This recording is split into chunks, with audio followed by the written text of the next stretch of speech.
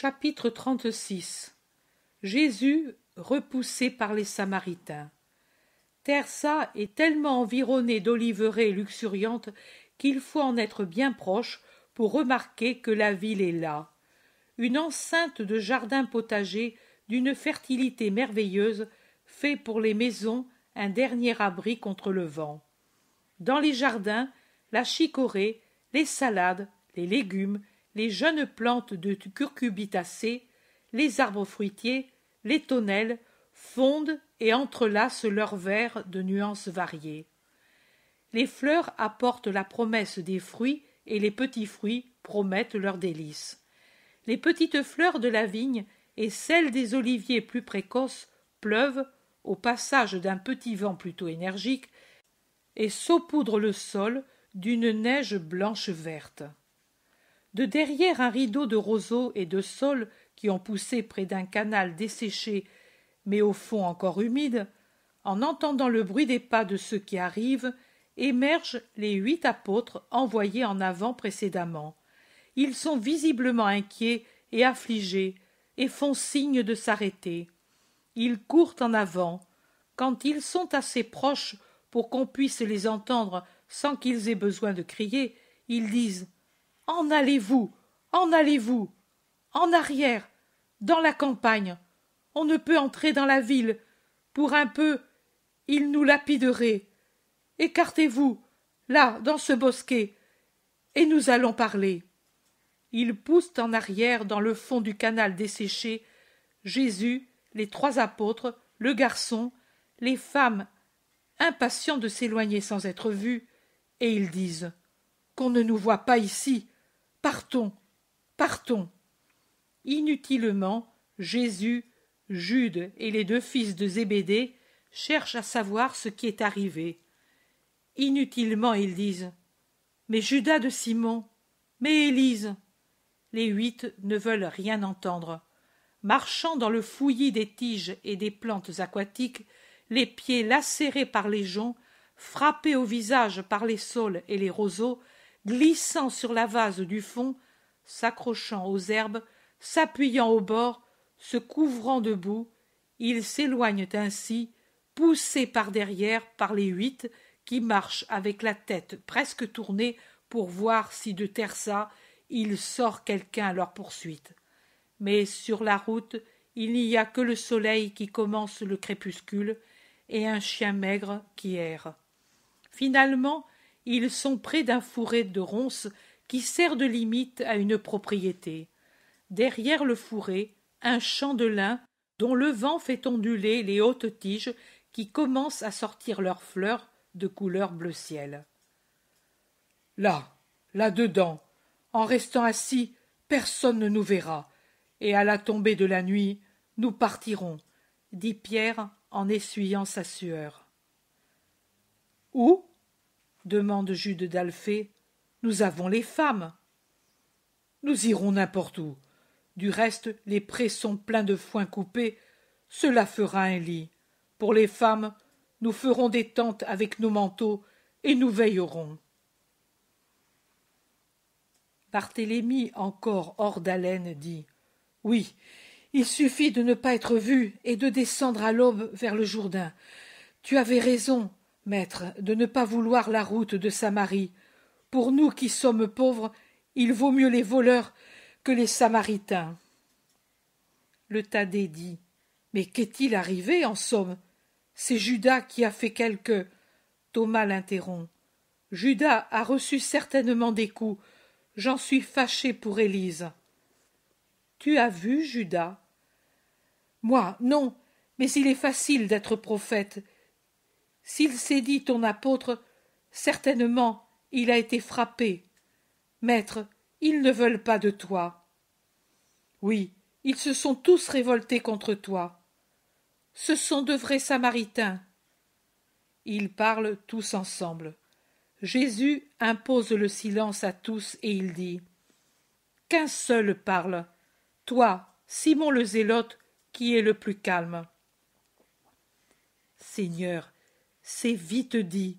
Nous sommes entrés dans la ville et personne ne nous a dérangés tant qu'ils n'ont pas su qui nous sommes. tant qu'ils ont cru que nous étions des pèlerins de passage.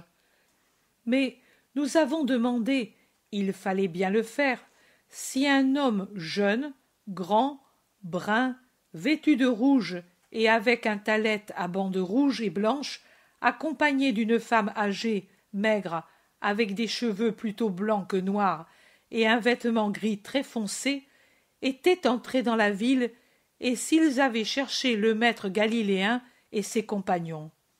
Alors ils se sont fâchés tout de suite. Peut-être nous n'aurions pas dû parler de toi.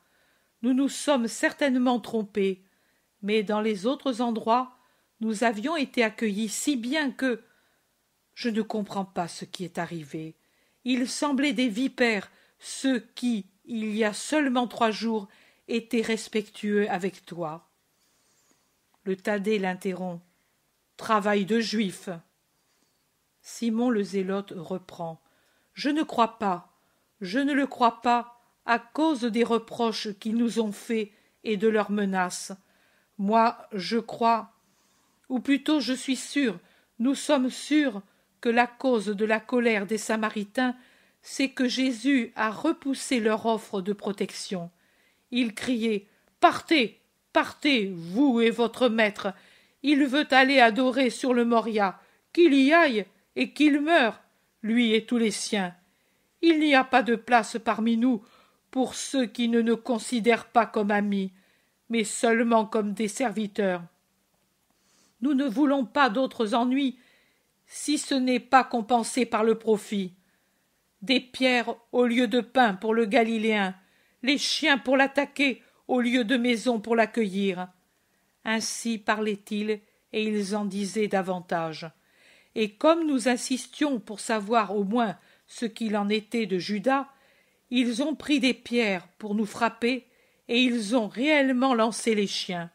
Et ils criaient entre eux Mettons-nous près de toutes les entrées, si lui vient, nous nous vengerons. Nous avons fui. Une femme, il y a toujours quelqu'un de bon, même parmi les mauvais, nous a poussés dans son jardin, et de là nous a conduits par un sentier entre les jardins jusqu'au canal qui était sans eau, car on avait irrigué avant le sabbat, et elle nous a cachés là. Et puis elle nous a promis de nous donner des nouvelles de Judas mais elle n'est plus venue.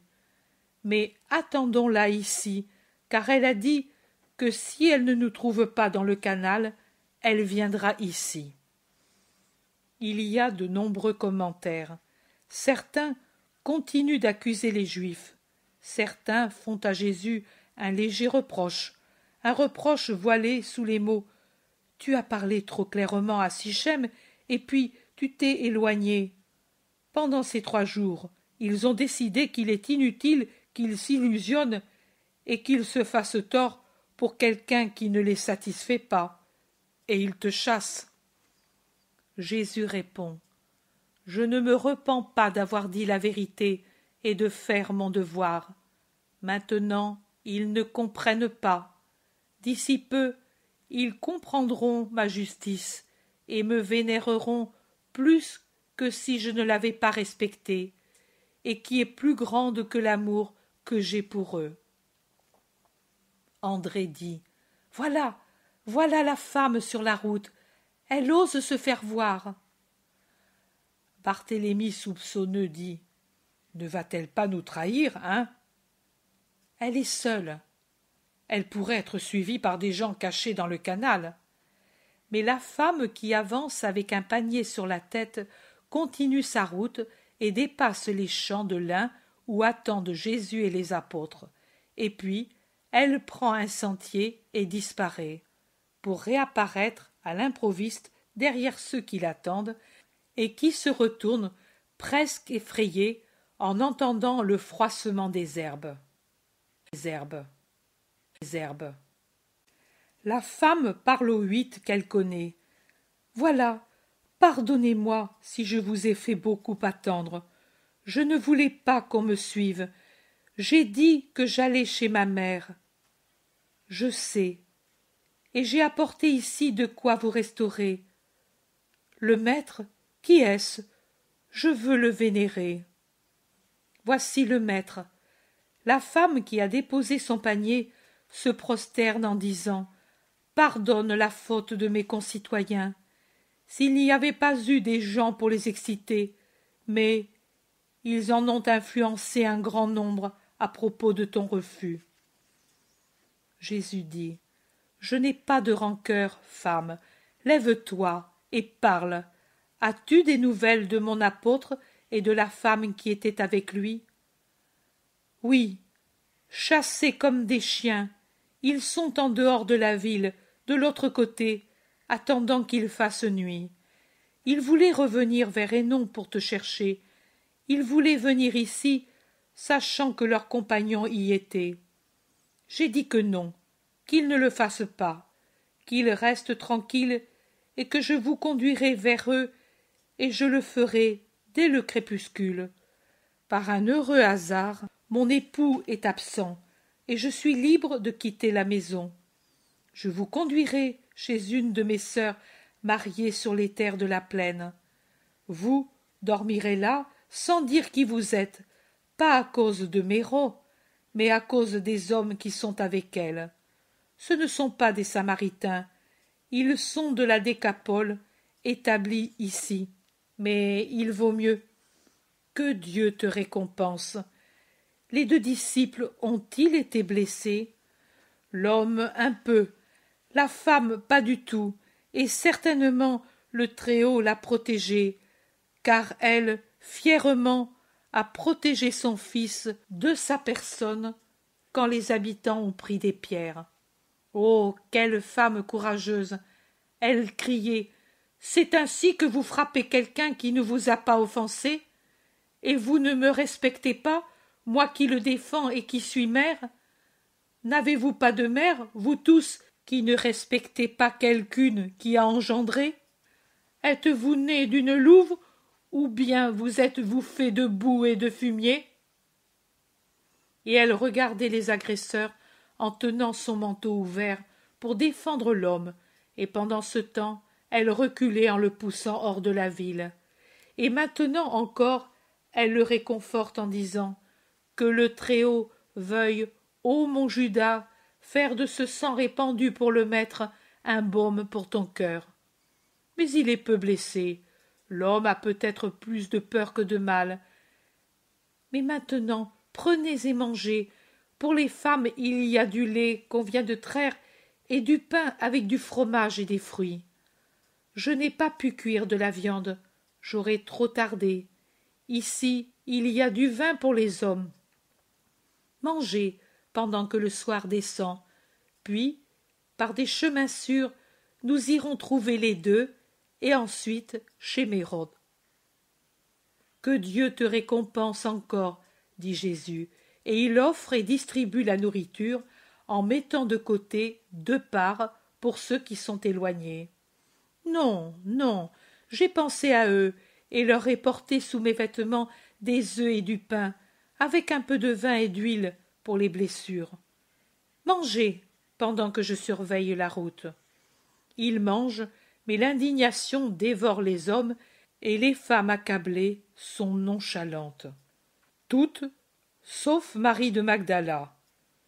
Ce qui effraie et humilie les autres a toujours pour elle l'effet d'une liqueur qui excite les nerfs et son courage. Les yeux lancent des éclairs vers la ville hostile. Seule la présence de Jésus, qui a déjà dit de ne pas avoir de rancœur, retient des paroles méprisantes. Ne pouvant parler ni agir, elle déverse sa colère sur le pain innocent qu'elle mord d'une manière tellement significative que le zélote ne peut se retenir de lui dire en souriant Heureusement pour les gens de Tersa qu'ils ne peuvent tomber entre tes mains. Tu ressembles à un fauve enchaîné, Marie. J'en suis un. Tu as vu juste, et aux yeux de Dieu, j'ai plus de mérite de me retenir d'entrer là-bas, comme il le mérite, que pour tout ce que j'ai fait jusqu'ici pour expier. Brave Marie, Dieu t'a pardonné des fautes plus grandes que la leur. C'est vrai, eux t'ont offensé, toi mon Dieu.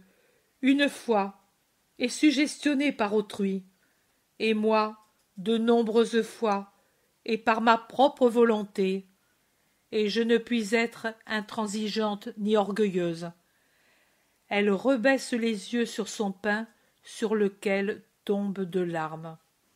Marthe lui met la main sur les genoux en lui disant à voix basse Dieu t'a pardonné, ne te mortifie plus. Rappelle-toi ce que tu as eu, notre Lazare. Je ne me mortifie pas, c'est de la reconnaissance, c'est de l'émotion, et la constatation que je n'ai pas encore cette miséricorde que j'ai si largement reçue. Pardonne-moi, Rabboni, dit-elle en levant ses yeux splendides auxquels l'humilité a rendu leur douceur. Jésus dit On ne refuse jamais le pardon à qui est humble de cœur, Marie. Le soir descend, en teintant l'air d'une nuance délicate de violet. Les choses un peu éloignées se confondent. Les tiges de lin, dont la grâce était si visible, se fondent à présent en une masse sombre. Les oiseaux se taisent dans les feuillages. La première étoile s'allume. La première cigale fait retentir son crissement dans l'air. C'est le soir. La femme dit en soupirant Nous pouvons aller. Ici, dans les champs, on ne nous verra pas.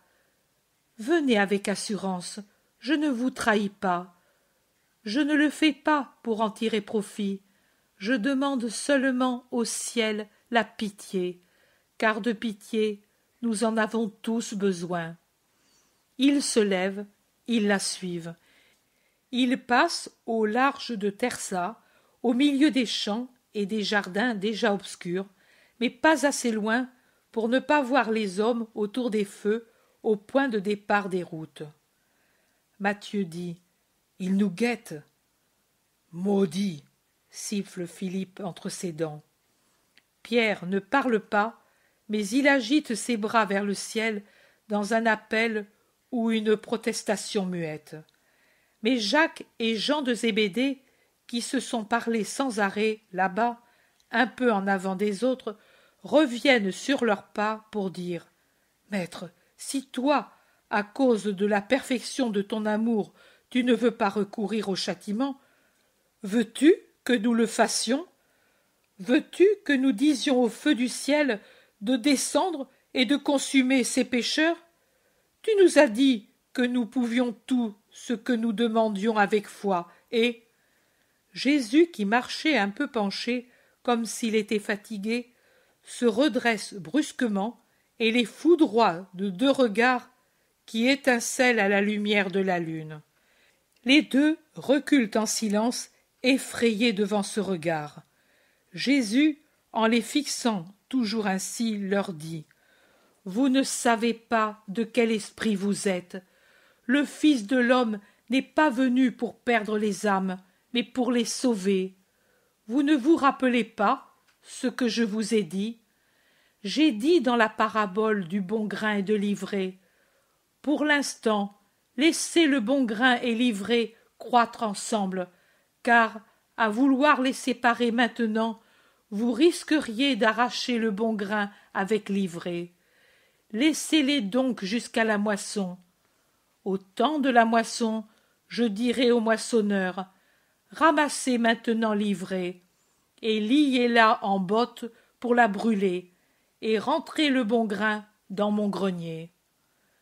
Jésus a déjà modéré son indignation envers les deux qui, à cause d'une colère qu'avait suscité leur amour pour lui, demandaient de punir ceux de Tersa et qui maintenant se tiennent tête basse devant lui. Il les prend par le coude, l'un à droite, l'autre à gauche, et se remet en route en les conduisant ainsi, et en parlant à tous qui s'étaient serrés autour de lui quand il s'était arrêté. En vérité, je vous dis que le temps de la moisson est proche, ma première moisson, et pour beaucoup il n'y en aura pas une seconde. Mais louons en le Très-Haut. certains qui dans mon temps n'ont pas su devenir épis de bon grain, après la purification du sacrifice pascal, renaîtront avec une âme nouvelle. Jusqu'à ce jour, je ne m'acharnerai contre personne. Après, ce sera la justice. Pierre demande Après la Pâque? Non, après le temps. Je ne parle pas de ces hommes de maintenant, je regarde les siècles futurs. L'homme ne cesse de se renouveler comme les moissons dans les champs, et les récoltes se suivent. Et moi je laisserai ce qu'il faut pour que ceux qui viendront à l'avenir puissent se faire bon grain. S'ils ne le veulent pas, à la fin du monde, mes anges sépareront l'ivraie du bon grain. Alors ce sera le jour éternel de Dieu seul. Pour l'instant, dans le monde, c'est le jour de Dieu et de Satan. Le premier semant le bien, le second jetant parmi les semences de Dieu son ivraie de damnation, ses scandales, ses iniquités, ses semences qui font naître l'iniquité et les scandales. Car toujours il y aura des gens pour exciter contre Dieu, comme ici, avec ceux-ci qui, en vérité, sont moins coupables que ceux qui les poussent au mal. Matthieu demande Maître, chaque année, on se purifie à la Pâque des Azimes, mais toujours on reste ce qu'on était. Est-ce que peut-être ce sera différent cette année? Très différent. Pourquoi? Explique-nous.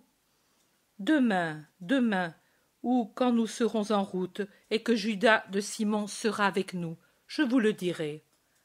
Jean dit Oh oui, tu nous le diras, et nous nous rendrons meilleurs. En attendant, pardonne-nous, Jésus. Je vous ai bien appelé par votre vrai nom, mais le tonnerre ne fait pas de mal. La foudre, oui, peut tuer.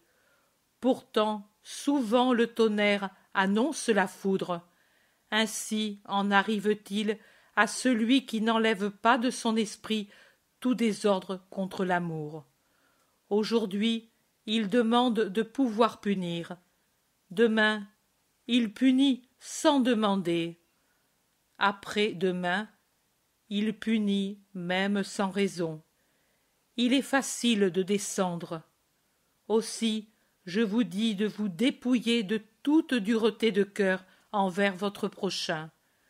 Faites comme je fais, et vous serez sûr de ne pas vous tromper. M'avez-vous peut-être jamais vu me venger de quelqu'un qui m'afflige? Non, maître, tu. Maître, maître, nous sommes ici, Élise et moi. Oh, maître, quel souci pour toi, et quelle peur de mourir, dit Judas de Kériote en débouchant de derrière des rangs de vignes et en courant vers Jésus. Une bande lui entoure le front. Élise, plus calme, le suit. Tu as souffert Tu as craint de mourir La vie t'est-elle tellement chère? demande Jésus en se dégageant de Judas, qui l'embrasse et pleure. Pas la vie Je craignais Dieu Mourir sans ton pardon je ne cesse pas de t'offenser. J'offense tout le monde, même elle. Et elle m'a répondu en me servant de mère. Je me suis senti coupable et j'ai craint la mort. Ô crainte salutaire, si elle peut te rendre saint. Mais moi, je te pardonne, toujours, tu le sais. Il suffit que tu aies la volonté de te repentir. Et toi, Élise, as-tu pardonné c'est un grand enfant déchaîné. Je sais être indulgente. Tu as été courageuse, Élise, je le sais. Si elle n'avait pas été là, je ne sais pas si je t'aurais revue, maître. Tu vois donc que ce n'est pas par haine, mais par amour qu'elle était restée près de toi. N'as-tu pas été blessée, Élise? Non, maître, les pierres tombaient tout autour de moi sans me blesser mais mon cœur a été très angoissé en pensant à toi. Tout est fini désormais. Suivons la femme qui veut nous conduire dans une maison sûre. Ils se remettent en route en prenant un petit chemin éclairé par la lune, qui s'en va vers l'Orient. Jésus a pris l'Iscariote par le bras et il est en avant avec lui. Il lui parle doucement. Il essaie de travailler son cœur secoué par la peur passée du jugement de Dieu. Tu vois, Judas, comme il est facile de mourir. La mort est toujours aux aguets autour de nous. Tu vois, comme ce qui nous paraît une chose négligeable quand nous sommes pleins de vie, devient une chose grande, effroyablement grande quand la mort nous effleure. Mais pourquoi vouloir avoir ces peurs, se les créer pour les trouver en face de soi au moment de mourir, alors qu'avec une vie sainte on peut ignorer l'épouvante du proche jugement de Dieu? Ne te semble-t-il pas qu'il vaut la peine de vivre en juste pour avoir une mort tranquille? Judas, mon ami, la divine, paternelle miséricorde a permis cet événement pour qu'il fût un appel à ton cœur. Il est encore temps pour toi, Judas. Pourquoi ne veux-tu pas donner à ton maître qui va mourir la grande, la très grande joie de te savoir revenu au bien? Mais peux-tu encore me pardonner, Jésus? Et te parlerais-je ainsi, si je ne le pouvais pas? Comme tu me connais peu encore, moi je te connais, je sais que tu es comme quelqu'un qui est saisi par une pieuvre géante, mais si tu voulais, tu pourrais encore te libérer. Oh. Tu souffrirais certainement. T'arracher à ces chaînes qui te mordent et t'empoisonnent serait douloureux. Mais après, quelle joie, Judas. Tu crains de ne pas avoir la force de réagir contre ceux qui te suggestionnent. Moi, je puis t'absoudre à l'avance du péché de transgression du rite pascal. Tu es un malade. Pour les malades, la Pâque n'est pas obligatoire. Personne n'est plus malade que toi. Tu es comme un lépreux. Les lépreux ne montent pas à Jérusalem tant qu'ils sont tels. Crois, Judas, que de comparaître devant le Seigneur avec un esprit immonde tel que le tien, ce n'est pas l'honorer, mais l'offenser. Il faut d'abord. Pourquoi alors ne me purifies tu pas et ne me guéris tu pas? demande Judas, déjà dur, récalcitrant. Je ne te guéris pas. Quand quelqu'un est malade, il cherche à se guérir par lui-même, à moins que ce ne soit un tout petit ou un sot qui ne sait pas vouloir. Traite-moi comme de telles personnes, traite-moi en sot et pourvois, toi-même à mon propre insu. Ce ne serait pas juste, parce que tu peux vouloir. Tu sais ce qui est bien et ce qui est mal pour toi, et il ne servirait à rien que je te guérisse sans ta volonté de rester guéri. Donne-la-moi aussi. La donner, t'imposer alors une volonté bonne, et ton libre arbitre. Que deviendrait-il alors? Que serait ton moi d'homme, de créature libre? Succube? Comme je suis succube de Satan, je pourrais l'être de Dieu. Comme tu me blesses, Judas, comme tu transperces mon cœur, mais pour ce que tu me fais, je te pardonne. Succube de Satan, as-tu dit. Moi, je ne disais pas cette chose redoutable. Judas réplique. Mais tu l'as pensée, parce qu'elle est vraie, et que tu la connais. S'il est vrai que tu lis dans les cœurs des hommes, s'il en est ainsi, tu sais que je ne suis plus libre de moi. Il m'a pris et. Non. Il s'est approché de toi, en te tentant, en t'essayant, et tu l'as accueilli. il n'y a pas de possession s'il n'y a pas au début une adhésion à quelque tentation satanique. Le serpent insinue sa tête entre les barreaux serrés mis pour défendre les cœurs, mais il n'entrerait pas si l'homme ne lui élargissait pas un passage pour admirer son aspect séducteur, pour l'écouter, pour le suivre. Alors seulement l'homme devient succube, possédé, mais parce qu'il le veut. Dieu aussi flèche des cieux les lumières très douces de son paternel amour, et ces lumières pénètrent en nous. Ou plutôt, Dieu, à qui tout est possible, descend dans le cœur des hommes. C'est son droit. Pourquoi, alors, l'homme qui sait qu'il devient esclave, succube de l'horrible, ne sait-il pas se rendre serviteur de Dieu, ou plutôt fils de Dieu? Et pourquoi chasse-t-il son Père très saint? Tu ne me réponds pas Tu ne me dis pas pourquoi tu as préféré Satan à Dieu Pourquoi tu as voulu Satan Mais il serait encore temps pour te sauver. Tu sais que je vais à la mort. Personne ne le sait comme toi. Je ne refuse pas de mourir je vais, je vais à la mort, parce que ma mort sera la vie pour tant d'hommes.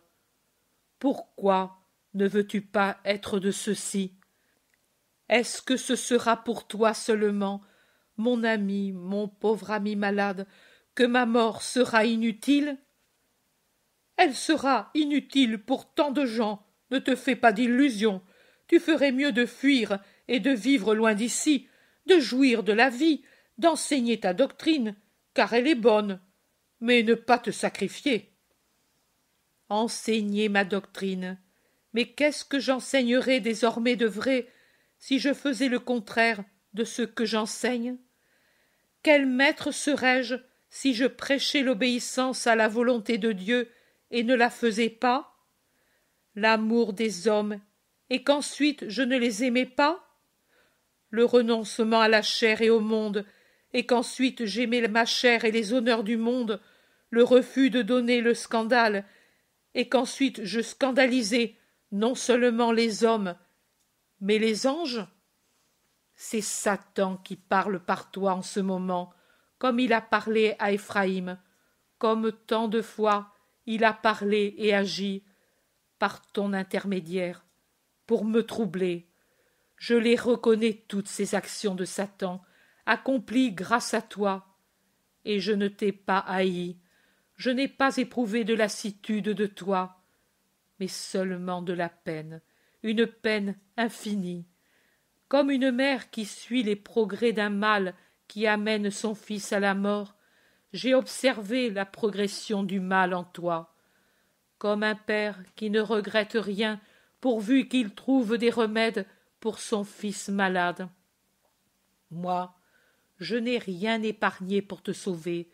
J'ai surmonté les répugnances, les indignations, les amertumes, les découragements. Comme un père et une mère désolés, désillusionnés de toute puissance se tournent vers le ciel pour obtenir la vie d'un fils.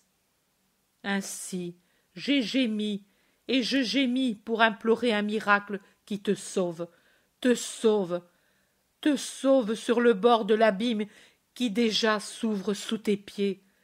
Judas, regarde-moi. Sous peu mon sang sera répandu pour les péchés des hommes. Il ne m'en restera pas une goutte. Le boiron, la terre, les pierres, les herbes, les vêtements de mes persécuteurs et les miens le bois, le fer, les cordes, les épines du nabaka, et le boiron les esprits qui attendent le salut. Est-ce que toi seul tu ne veux pas le boire? Moi, pour toi seul, je donnerai tout le sang que j'ai.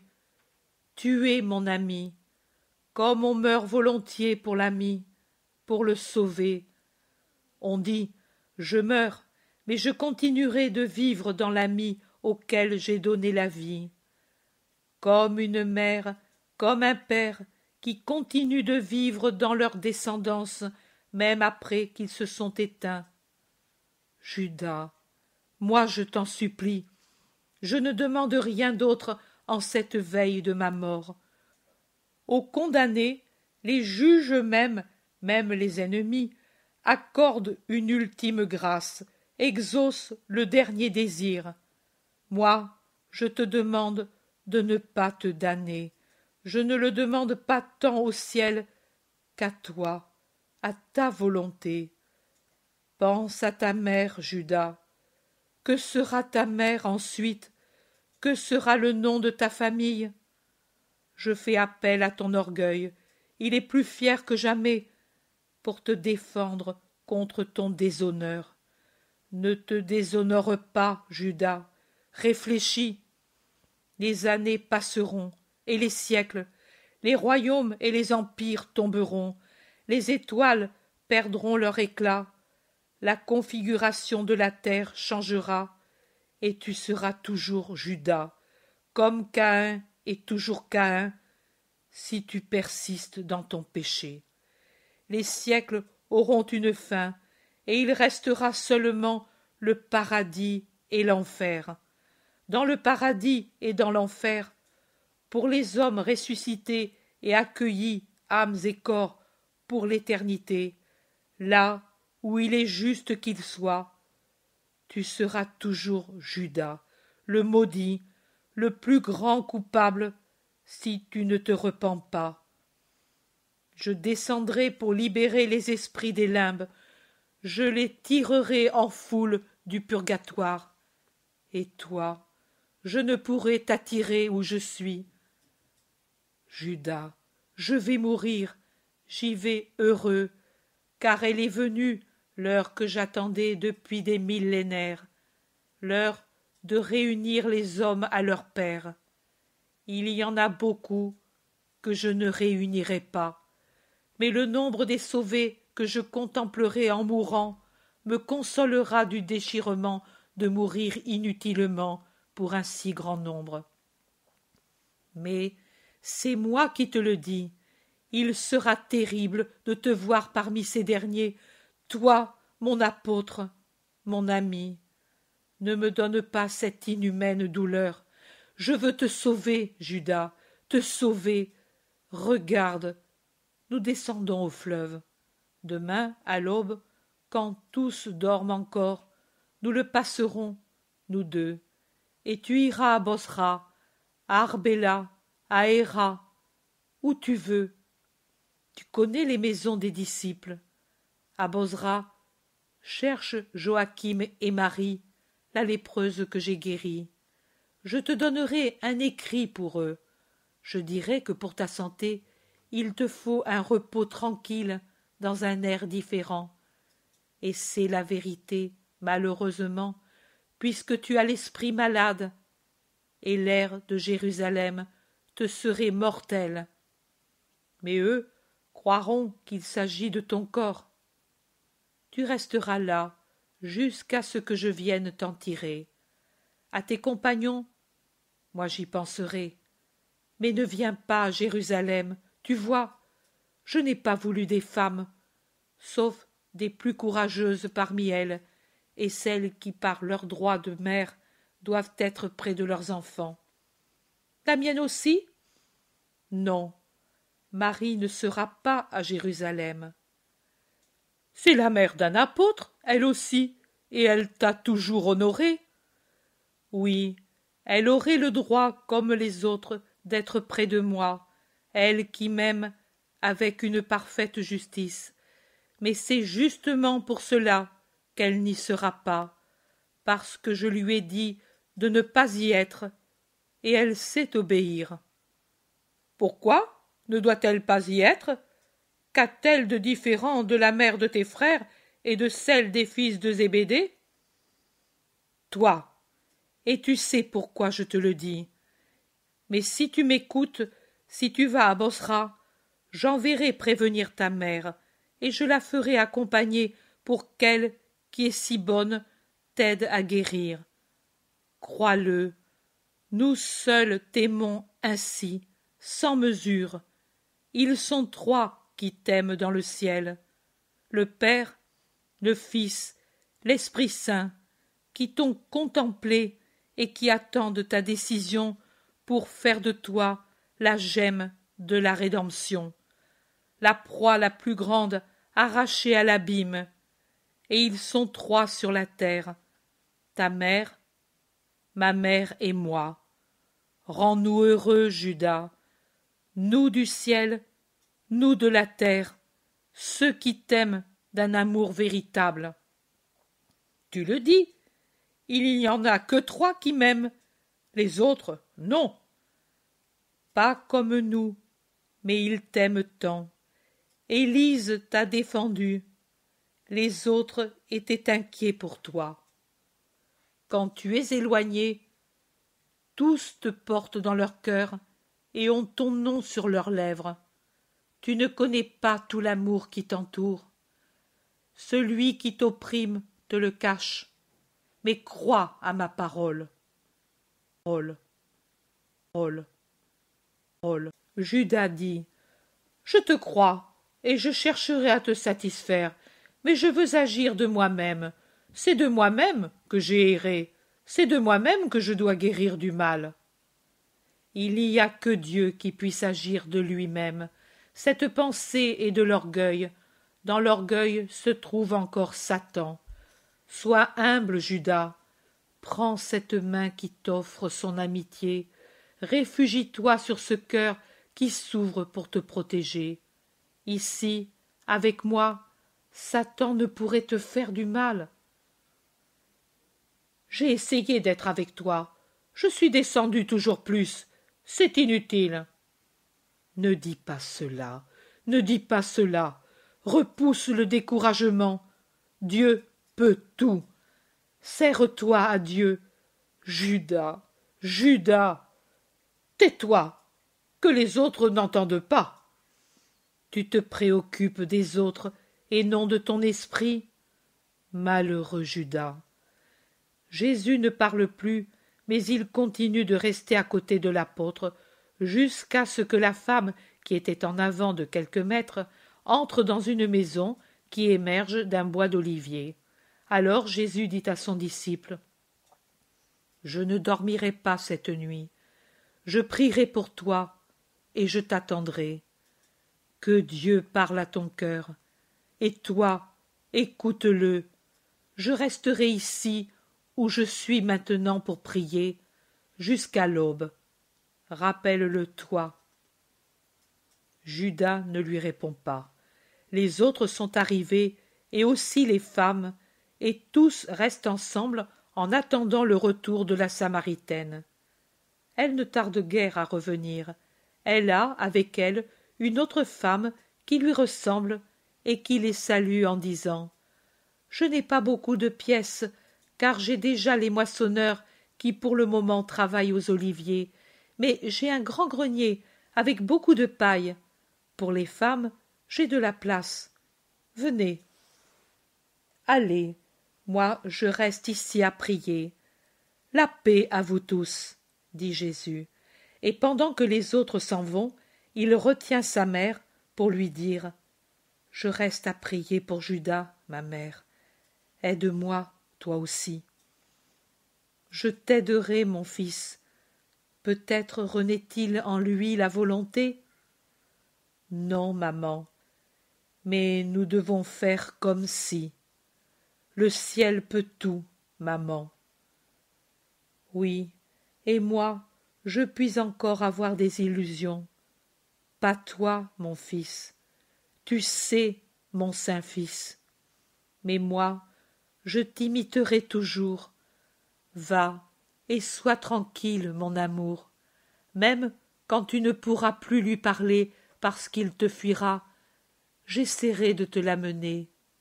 Que seulement le Père très saint écoute ma souffrance.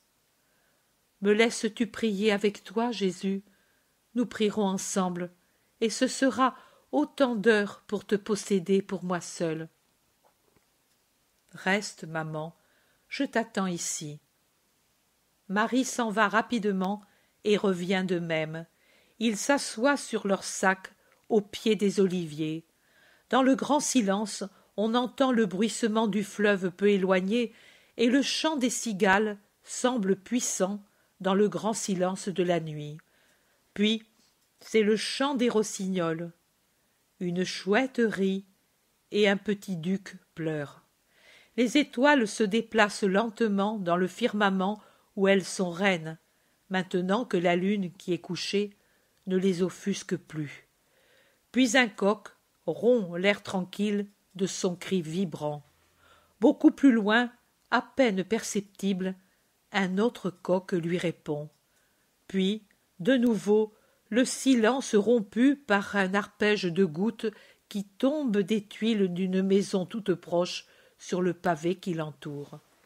Et puis un nouveau bruissement dans les feuillages, comme s'il secouait l'humidité de la nuit, et un cri isolé d'un oiseau qui se réveille, et en même temps un changement dans le ciel, un retour de la lumière. C'est l'aube et Judas n'est pas venu. Jésus regarde sa mère, blanche comme un lys contre l'olivier sombre, et il lui dit Nous avons prié, mère. Notre prière, Dieu s'en servira. Oui, mon fils, tu es pâle comme la mort. Vraiment, toute ta vitalité s'est exhalée pendant cette nuit pour presser sur les portes des cieux et sur les décrets de Dieu. Toi aussi tu es pâle, mère, grande est ta fatigue, grande est ma douleur à cause de ta douleur. La porte de la maison s'ouvre avec précaution.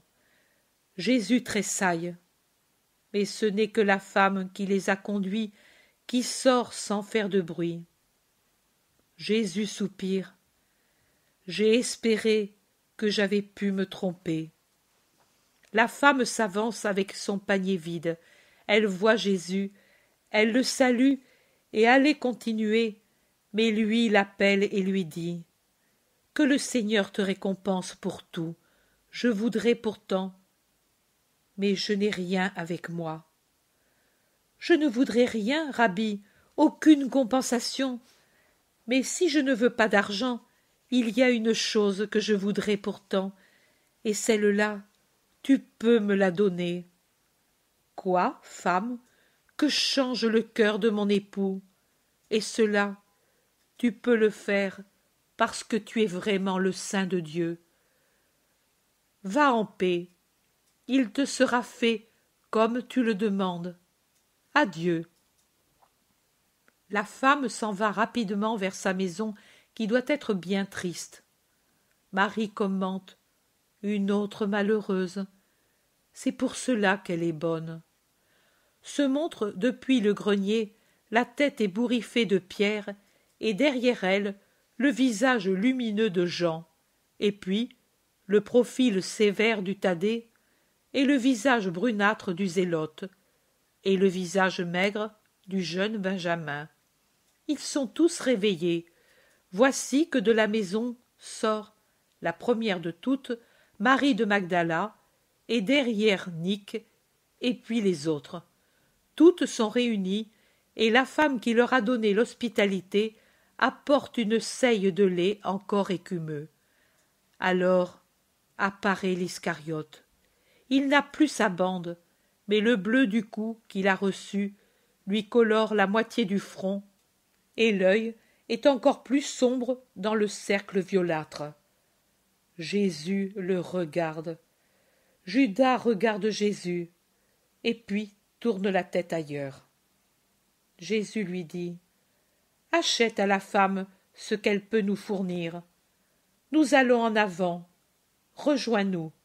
Et réellement, Jésus s'éloigne après avoir salué la femme. Tous le suivent le suivent, le suivent. Chapitre 37 La rencontre avec le jeune homme riche. C'est une autre très belle matinée d'avril. La terre et le firmament déploient toute leur beauté printanière. On respire la lumière, les champs, les parfums, tant l'air est saturé de clarté, de voix joyeuses et affectueuses, de parfums. Il a dû tomber pendant la nuit une courte averse qui a fait tomber la poussière des routes et les a assombries sans les rendre boueuses, et a lavé les tiges et les feuilles qui tremblent maintenant, claires et propres, sous une douce brise qui descend des monts vers la plaine fertile qui annonce Jéricho.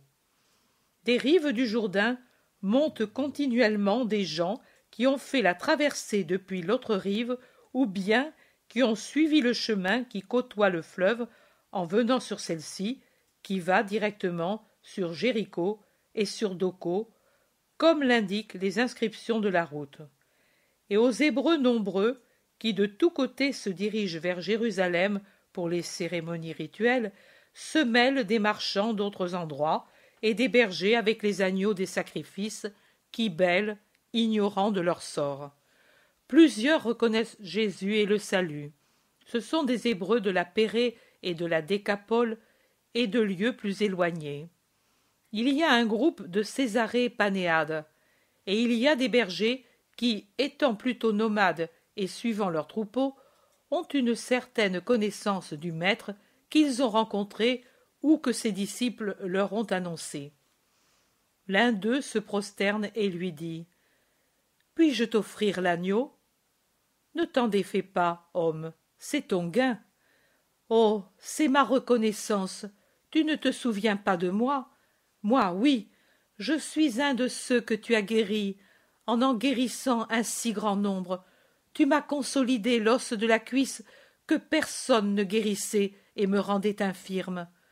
Je te donne volontiers l'agneau, le plus beau, celui-ci, pour le banquet de réjouissance. Je sais que pour l'Holocauste tu es tenu à la dépense, mais pour la réjouissance, tu m'en as donné tant. Prends-le, maître. Dit Mais oui, prends-le, ce sera de l'argent que nous économiserons, ou plutôt ce sera la possibilité de manger, car avec toutes les prodigalités que l'on fait, moi je n'ai plus d'argent.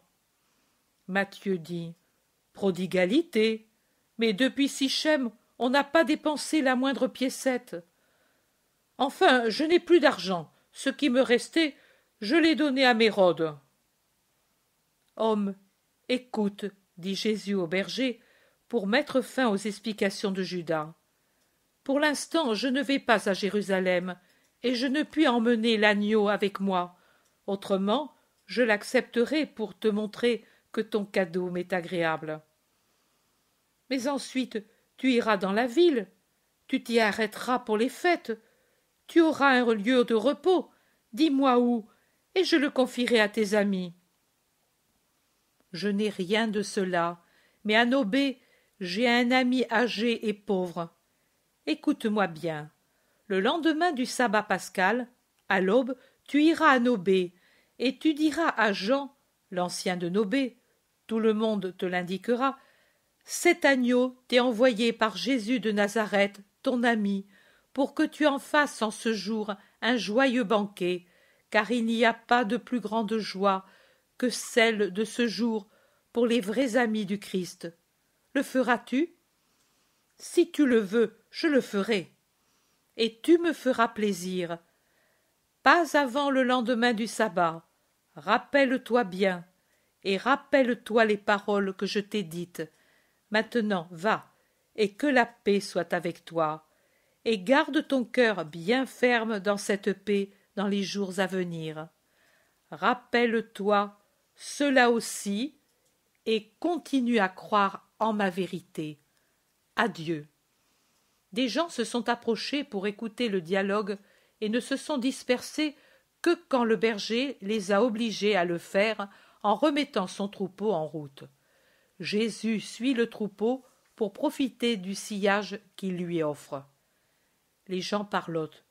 Mais alors, il va vraiment à Jérusalem, mais il ne sait pas qu'il y a l'affiche contre lui. Eh. Mais personne ne peut empêcher un fils de la loi de se présenter au Seigneur pour la Pâque. Est il coupable de quelque délit public? Non, car s'il l'était, le proconsul l'aurait fait emprisonner comme Barabbas. Et d'autres. Tu as entendu? Il n'a pas d'asile ni d'amis à Jérusalem. Est-ce que tous l'ont abandonné? Même le ressuscité?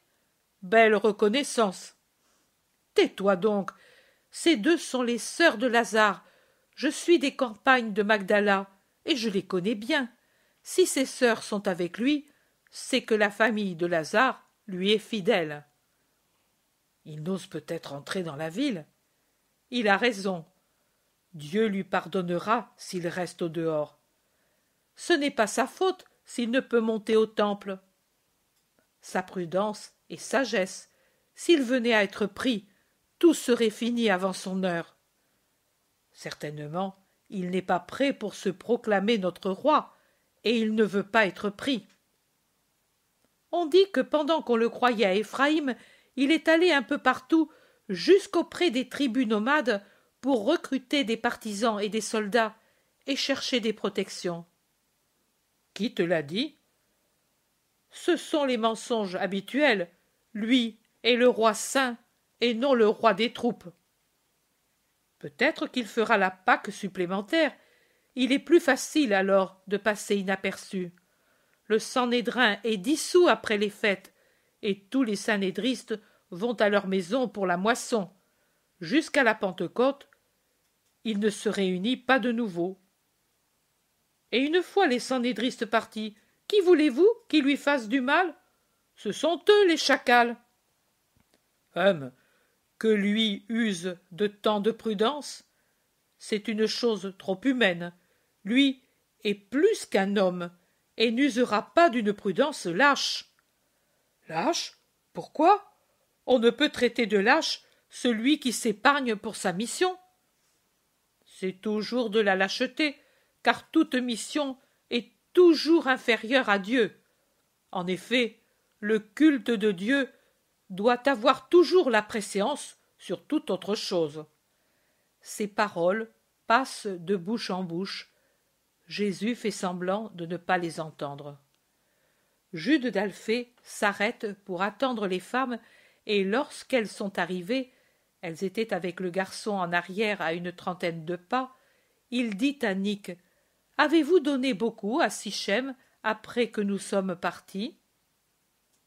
Pourquoi? Parce que Judas n'a plus la moindre piécette. Tes sandales, Benjamin, ne vont pas venir. C'est écrit.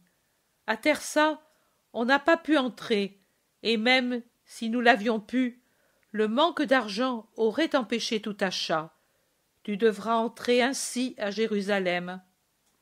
Marthe, en souriant, dit Avant, il y a Béthanie.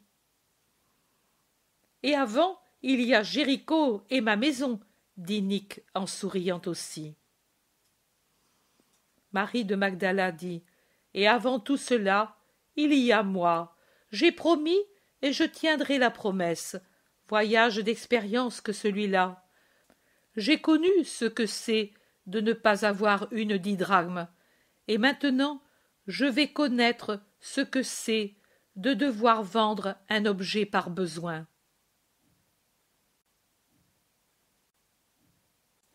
Marthe demande à sa sœur Et que veux-tu vendre, Marie, si tu ne portes plus de bijoux?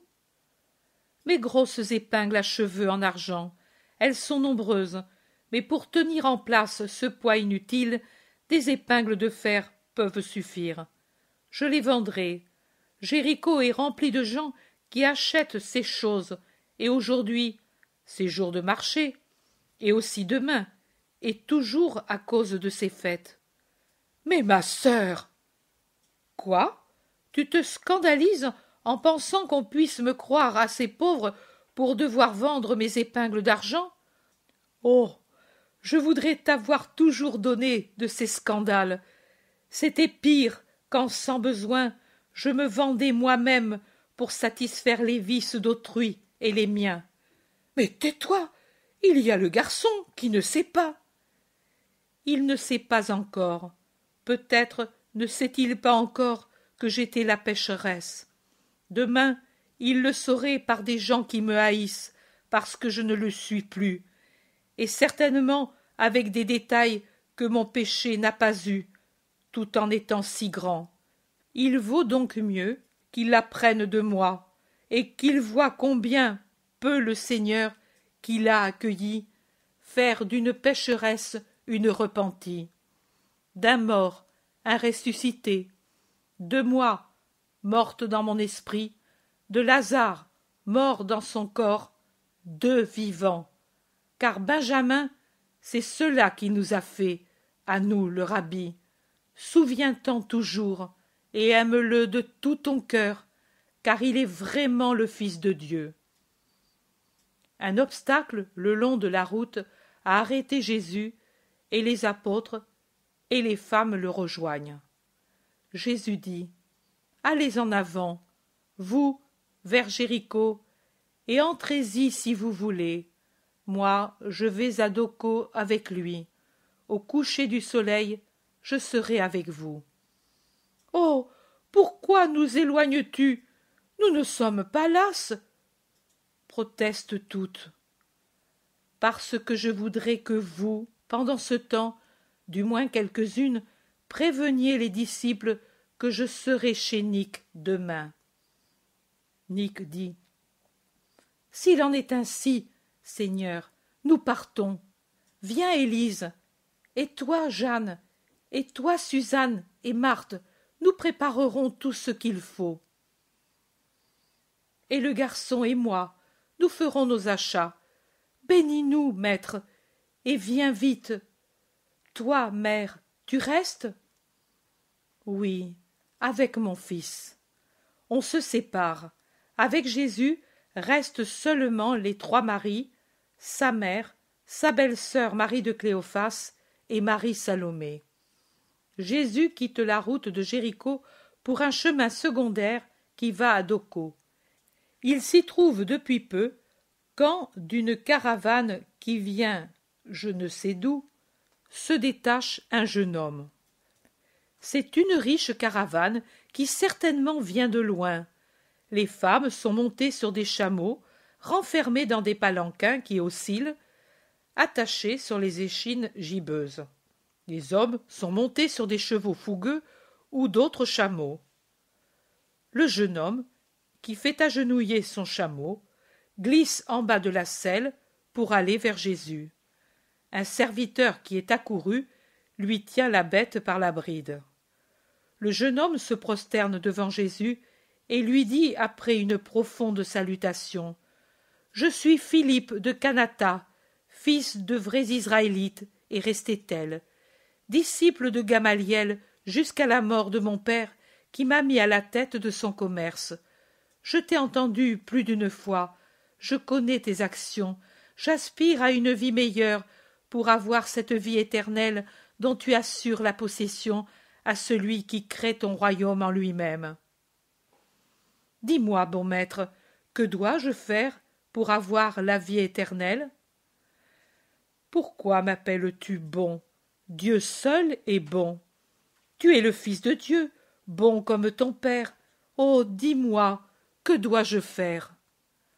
Pour entrer dans la vie éternelle, observe les commandements. Lesquels, monseigneur? Les anciens ou les tiens? Dans les anciens, les miens se trouvent déjà. Les miens ne changent pas les anciens. Ils sont toujours adorer d'un amour vrai l'unique vrai Dieu, et respecter les lois du culte, ne pas tuer, ne pas voler, ne pas commettre l'adultère, ne pas attester le faux, honorer père et mère, ne pas faire du tort au prochain, mais au contraire l'aimer comme tu t'aimes toi-même. En agissant ainsi, tu auras la vie éternelle. Vie éternelle. Le jeune homme dit Maître, toutes ces choses, je les ai observées depuis mon enfance. Jésus le regarde d'un œil affectueux et doucement il lui demande Et cela ne te paraît pas encore suffisant Non, maître, c'est une si grande chose le royaume de Dieu en nous et dans l'autre vie. C'est un don infini, Dieu, qui se donne à nous. Je sens que tout est peu de chose de ce qui est de voir par rapport au tout, à l'infini parfait qui se donne. Je pense qu'on doit l'obtenir avec des choses plus grandes que celles qui sont commandées pour ne pas se damner et lui être agréable. Tu parles bien. Pour être parfait, il te manque encore une chose. Si tu veux être parfait comme le veut notre Père des cieux, va, vends ce que tu as, et donne-le aux pauvres, et tu auras dans le ciel un trésor qui te fera aimer du Père qui a donné son trésor pour les pauvres de la terre. Puis, viens et suis-moi. Le jeune homme s'attriste et devient pensif. Puis, il se relève en disant Je me rappellerai ton conseil.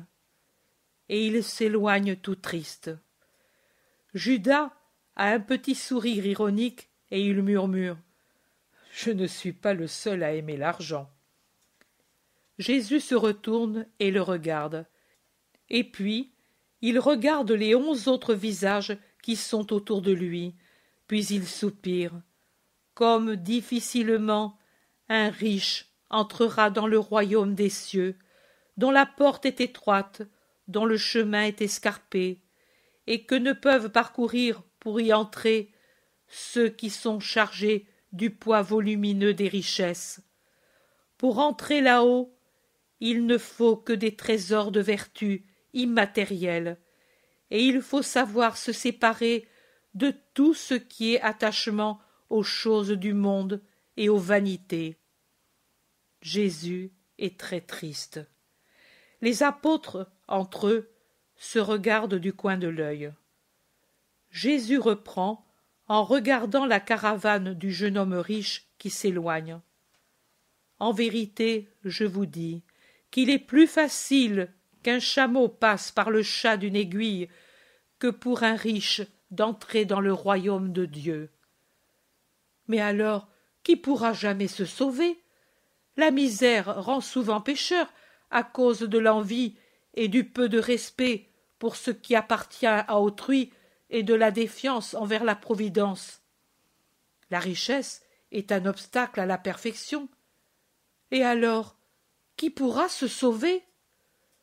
Jésus les regarde et leur dit Ce qui est impossible aux hommes est possible à Dieu, car à Dieu tout est possible. Il suffit que l'homme aide son Seigneur par sa bonne volonté. Et c'est de la bonne volonté d'accepter le conseil reçu et de s'efforcer d'arriver à se libérer des richesses, à se libérer de tout, pour suivre Dieu, car voici ce que c'est que la vraie liberté de l'homme, suivre les paroles que Dieu murmure au cœur et ses commandements, ne pas être esclave ni de soi-même, ni du monde, ni du respect humain, et donc pas esclave de Satan. User de la splendide liberté d'arbitre que Dieu a donnée à l'homme pour vouloir librement et uniquement le bien, et obtenir ainsi la vie éternelle, toute lumineuse, libre, bienheureuse. Il ne faut pas être esclave même de sa propre vie, si pour la suivre on doit résister à Dieu. Je vous l'ai dit, celui qui perdra sa vie par amour pour moi et pour servir Dieu, la sauvera pour l'éternité. Pierre demande Voilà, pour te suivre, nous avons quitté toutes choses, même les plus licites. Que nous en arrivera-t-il donc? Entrerons-nous alors dans ton royaume? En vérité, en vérité, je vous dis que ceux qui m'auront suivi de cette façon et qui me suivront, car il est toujours temps de réparer la paresse et les fautes faites jusqu'ici, toujours tant, tant que l'on est sur la terre, et que l'on a devant soi des jours où on peut réparer le mal commis. Ceux qui me suivront seront avec moi dans mon royaume. En vérité, je vous dis que vous, qui m'avez suivi dans la régénération, vous siégerez sur des trônes pour juger les tribus de la terre avec le Fils de l'homme assis sur le trône de sa gloire. En vérité, je vous dis encore qu'il n'y aura personne qui, ayant par amour de mon nom quitté maison, champ, père, mère, frère, épouse, enfants et sœurs, pour répandre la bonne nouvelle et me continuer, qui ne reçoivent le centuple en ce temps et la vie éternelle dans le siècle futur. Judas demande Mais si nous perdons tout, comment pourrons-nous centupler notre avoir? Je répète ce qui est impossible aux hommes est possible à Dieu, et Dieu donnera le centuple de joie spirituelle à ceux qui, d'hommes du monde, auront su se rendre fils de Dieu, c'est-à-dire hommes spirituels. Ils jouiront de la vraie joie ici et au-delà de la terre. Et je vous dis encore que ce ne sont pas tous ceux qui semblent les premiers, et devraient l'être, ayant reçu plus que tous, qui seront tels et ce ne sont pas tous ceux qui semblent les derniers, et moins que les derniers, n'étant pas en apparence mes disciples et n'appartenant même pas au peuple élu, qui seront les derniers. En vérité, beaucoup des premiers deviendront derniers, et beaucoup de derniers, de tout à fait derniers, deviendront premiers. Mais voilà Doko. Allez tous en avant sauf Judas de Kériote et Simon le Zélote. Allez m'annoncer à ceux qui peuvent avoir besoin de moi. Et Jésus attend, avec les deux qu'il a retenus, de se joindre aux trois maris qui le suivent à quelques mètres de distance. Distance. Distance. Chapitre 38 Troisième prophétie de la Passion La mère et les fils de Zébédée. L'aube éclaire à peine le ciel et rend la marche encore difficile quand Jésus quitte Doko encore endormi. On n'entend certainement pas le bruit des pas, car ils avancent avec précaution, et les gens dorment encore dans les maisons fermées. Personne ne parle avant qu'il ne soit sorti de la ville dans la campagne qui se réveille lentement dans la lumière faible et toute fraîche après la rosée. Alors l'Iscariote dit Route inutile, sans repos. Il aurait mieux valu ne pas venir jusqu'ici. Jacques d'Alphée répond Ils ne nous ont pas mal reçus, le peu d'entre eux que nous avons trouvés. Ils ont perdu leur nuit pour nous écouter et pour aller prendre les malades des campagnes, et cela a été vraiment bien d'être venus. En effet, ceux qui, à cause de la maladie ou d'autre chose, ne pouvaient espérer voir le Seigneur à Jérusalem, l'ont vu ici et ont été consolés par la santé ou d'autres grâces. Les autres, on le sait, sont déjà allés à la ville. C'est l'usage pour nous d'y aller, pourvu qu'on le puisse, quelques jours avant la fête, dit-il doucement, car Jacques est toujours doux à l'opposé de Judas de Kériote, qui, même dans les meilleures heures, est toujours violent et autoritaire. Justement, parce que nous allons nous aussi à Jérusalem, il était inutile de venir ici. Il nous aurait entendus et vus là-bas. Mais pas les femmes ni les malades, réplique en l'interrompant Barthélemy, qui vient à l'aide de Jacques d'Alphée. Judas feint de ne pas entendre, et il dit comme s'il continuait la conversation. Du moins, je crois que nous allons à Jérusalem, bien que maintenant je n'en sois plus sûr après le discours au berger. Pierre demande. Et où veux-tu qu'on aille, sinon là? Bah, je ne sais pas. Tout est tellement irréel de ce que nous faisons depuis quelques mois, tout tellement contraire à ce que l'on peut prévoir, au bon sens, à la justice, même que. Ohé. Mais je t'ai vu boire du lait, Adoko, et pourtant tu parles comme si tu étais ivre. Où les vois-tu, les choses contraires à la justice? demande Jacques de Zébédée avec des yeux peu rassurants. Et il renchérit. Assez de reproches au juste. As-tu compris que cela suffit? Tu n'as pas le droit, toi, de lui faire des reproches. Personne n'a ce droit, car lui est parfait, et nous, aucun de nous ne l'est, et toi moins que tous. Thomas, qui perd patience, dit Mais oui, si tu es malade, soigne-toi, mais ne nous ennuie pas avec tes discussions. Si tu es lunatique, le maître est là. Fais-toi guérir, et n'en parlons plus. En effet, Jésus est en arrière avec Jude d'Alphée et Jean, et ils aident les femmes qui, moins habituées à marcher dans la pénombre, ont de la peine à avancer par le sentier difficile et encore plus sombre que les champs, parce qu'il est taillé dans une épaisse oliveraie.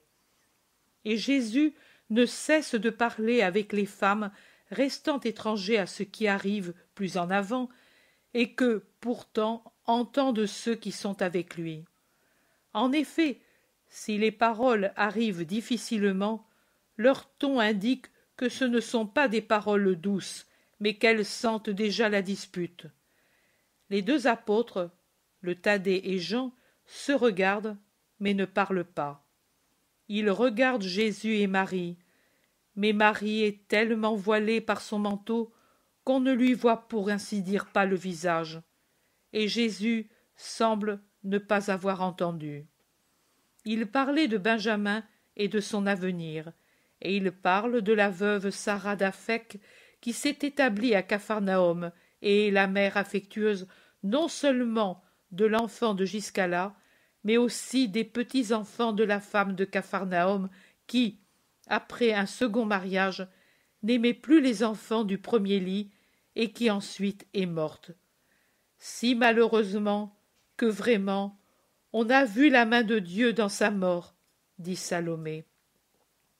Pourtant, à la fin de la conversation, Jésus va en avant avec Jude Thaddée et il se joint aux apôtres après avoir dit en partant Reste pourtant, Jean, si tu le veux, je vais répondre à l'inquiet et mettre la paix. Mais Jean, après avoir fait encore quelques pas avec les femmes, comme désormais le sentier devient plus ouvert et plus clair, rejoint Jésus en courant, justement quand il dit Rassure-toi donc, Judas, comme nous ne l'avons jamais fait, nous ne ferons rien d'irréel. Même maintenant, nous ne faisons rien d'opposé à ce que l'on pouvait prévoir. C'est le temps où il est prévisible que tout véritable Israélite, non empêché par des maladies ou des choses très graves, monte au temple. Et nous, nous montons au temple. Pas tous pourtant. J'ai entendu dire que Margiam n'y sera pas. Est-il malade, peut-être? Pour quel motif ne vient-il pas? Te paraît-il possible de le remplacer par le Samaritain? Le ton de Judas est insupportable. Pierre murmure. Oh. Prudence. Enchaîne ma langue à moi qui suis un homme. Et il serre fortement ses lèvres pour ne pas en dire davantage. Ses yeux, un peu bovins, ont un regard émouvant, tant y sont visibles l'effort que fait l'homme pour freiner son indignation et sa peine d'entendre Judas parler de cette façon. La présence de Jésus tient tranquille toutes les langues, et c'est seulement lui qui parle pour dire, avec un calme vraiment divin Venez un peu en avant, que les femmes n'entendent pas, j'ai une chose à vous dire depuis quelques jours. Je vous l'ai promis dans les campagnes de Tersa, mais je voulais que vous y fuissiez tous pour l'entendre. Vous tous, pas les femmes. Laissons-les dans leur humble paix. Dans ce que je vous dirai, il y aura aussi la raison pour laquelle Margiam ne sera pas avec nous, ni ta mère, Judas de Kériote, ni tes filles, Philippe, ni les femmes disciples de Bethléem de Galilée avec la jeune fille. Il y a des choses que tous ne peuvent pas supporter. Moi, le maître, je sais ce qui est bien pour mes disciples et ce qu'ils peuvent ou ne peuvent pas supporter. Même vous, vous n'avez pas la force de supporter l'épreuve, et ce serait une grâce pour vous d'en être exclu. Mais vous devez me continuer, et vous devez savoir combien vous êtes faible pour être ensuite miséricordieux avec les faibles. Vous ne pouvez donc pas être exclu de cette épreuve redoutable qui vous donnera la mesure de ce que vous êtes, de ce que vous êtes resté après trois ans passés avec moi, et de ce que vous êtes devenu après trois ans passés avec moi. Vous êtes douze, vous êtes venus à moi presque en même temps. Ce n'est pas le petit nombre de jours qui vont de ma rencontre avec Jacques, Jean et André, jusqu'au jour où tu as été accueilli parmi nous, Judas de Kériote, ni à celui où toi, Jacques mon frère, et toi, Matthieu, vous êtes venus avec moi, qui puisse justifier une si grande différence de formation entre vous. Vous étiez tous, même toi, docte Barthélemy, même vous, mes frères, très informes, absolument informe par rapport à ce qu'est la formation dans ma doctrine, et même votre formation, meilleure que celle des autres parmi vous dans la doctrine du vieil Israël, était pour vous un obstacle pour vous former en moi. Et pourtant, aucun d'entre vous n'a parcouru autant de chemin qu'il aurait fallu pour vous amener tous à un point unique l'un de vous l'a atteint, d'autres en sont proches, d'autres plus éloignés, d'autres très en arrière, d'autres. Oui, je dois aussi le dire, au lieu d'aller de l'avant, ont reculé. Ne vous regardez pas, ne cherchez pas parmi vous qui est le premier et qui est le dernier. Celui qui, peut-être, se croit le premier ou que l'on croit le premier doit encore s'éprouver lui-même. Celui qui se croit le dernier ne va pas tarder de resplendir dans sa formation comme une étoile du ciel.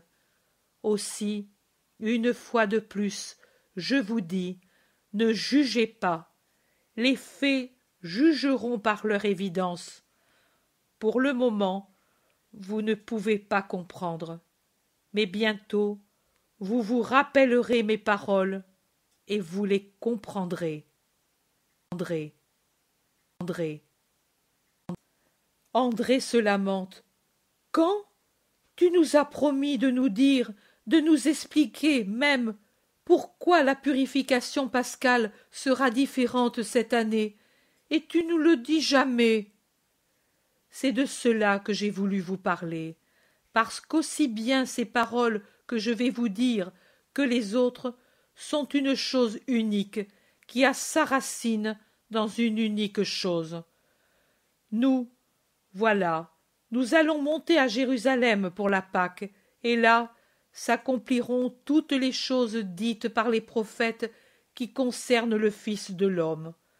En vérité, comme l'ont vu les prophètes, comme déjà il est dit dans l'ordre donné aux Hébreux d'Égypte, comme il fut ordonné à Moïse dans le désert, l'agneau de Dieu va être immolé, et son sang va laver les huisseries des cœurs, et l'ange de Dieu passera sans frapper ceux qui auront sur eux, et avec amour, le sang de l'agneau immolé, qui va être élevé comme le serpent de métal précieux sur la barre transversale, pour être un signe à ceux qui sont blessés par le serpent infernal, pour être le salut à ceux qui le regarderont avec amour.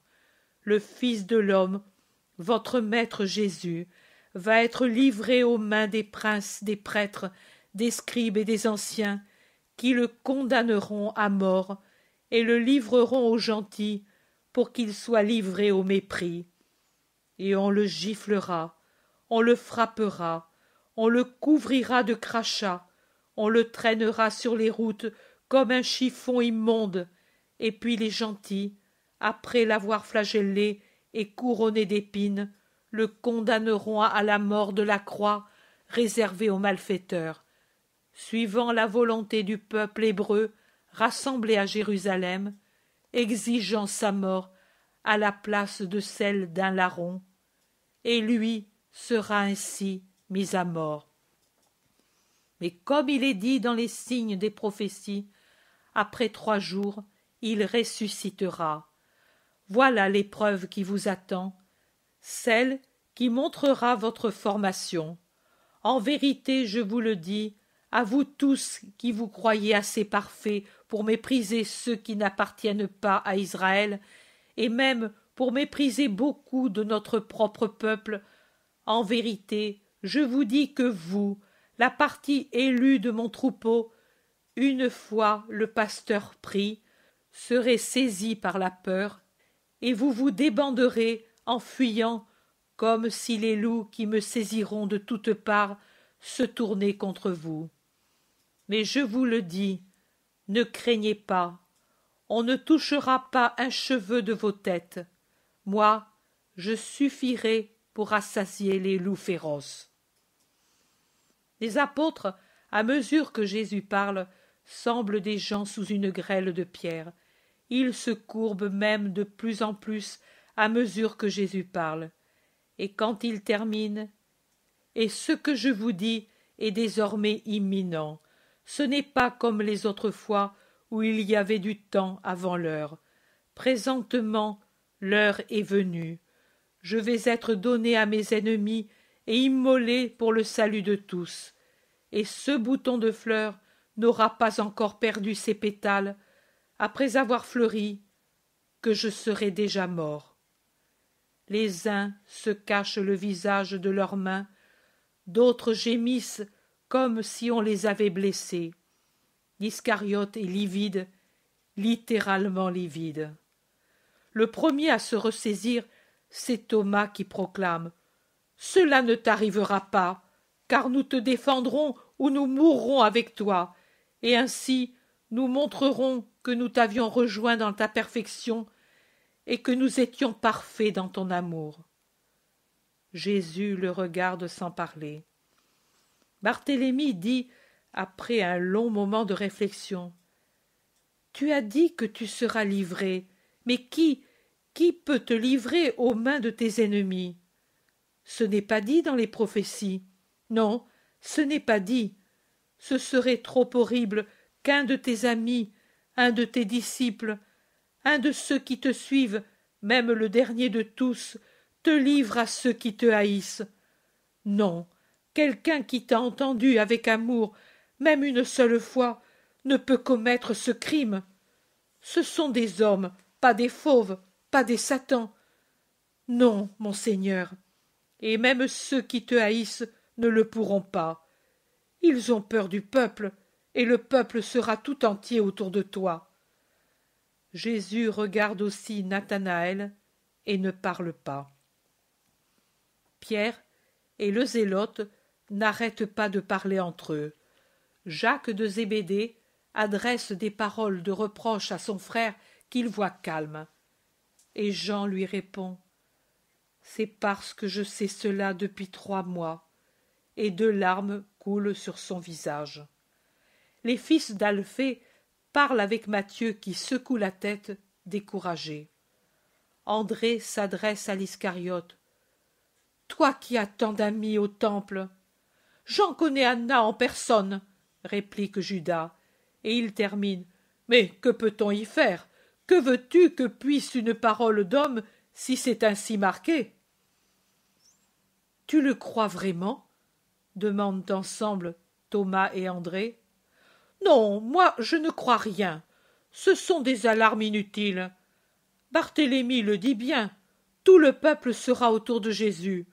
On le voit déjà par ceux que l'on rencontre, et ce sera un triomphe. Vous verrez qu'il en sera ainsi.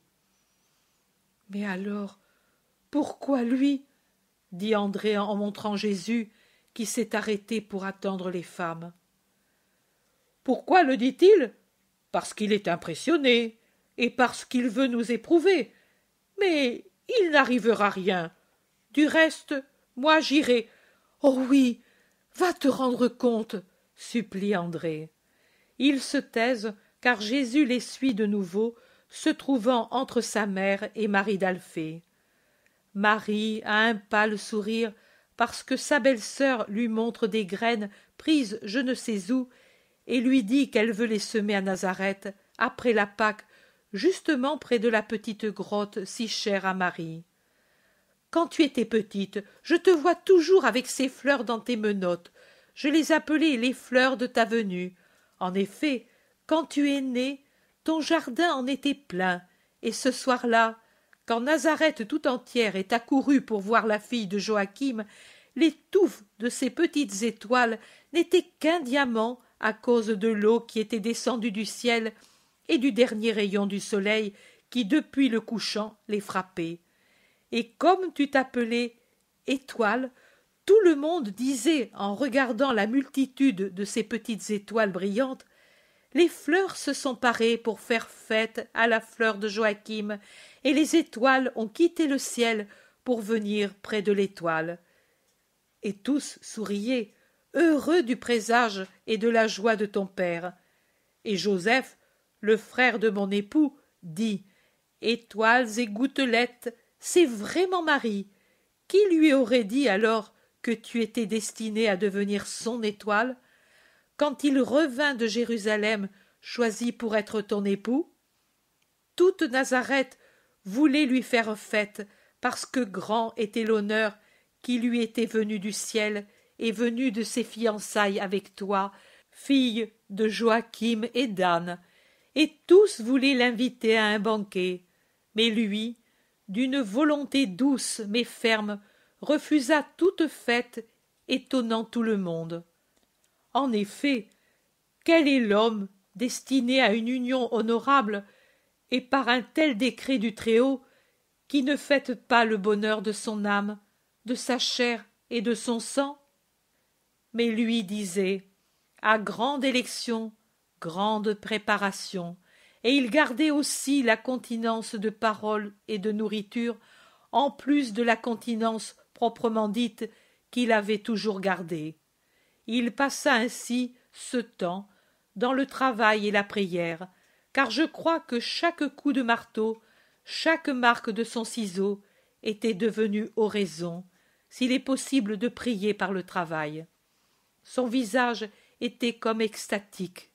Moi, j'allais ranger la maison, blanchir les draps, et toutes choses laissées par ta mère, et que le temps avait jauni, et je le regardais pendant qu'il travaillait dans le jardin et la maison pour les refaire beaux comme si jamais il n'avait été à l'abandon. Et je lui parlais aussi. Mais il était comme absorbé. Il souriait. Mais ce n'était pas à moi ni à d'autres à sa pensée qui n'était pas non la pensée de tout homme près de ses noces cette dernière est un sourire de joie maligne et charnelle lui paraissait sourire aux anges invisibles de Dieu, parler avec eux et leur demander conseil.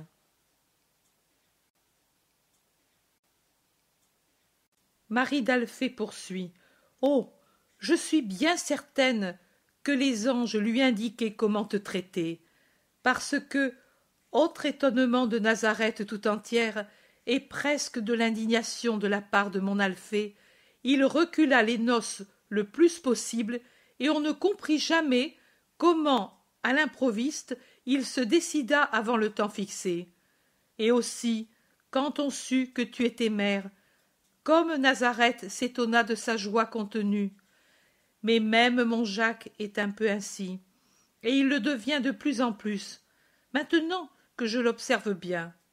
Je ne sais pourquoi, mais depuis que nous sommes venus à Éphraïm, il me paraît tout changé. Je le vois ainsi, absolument comme Joseph.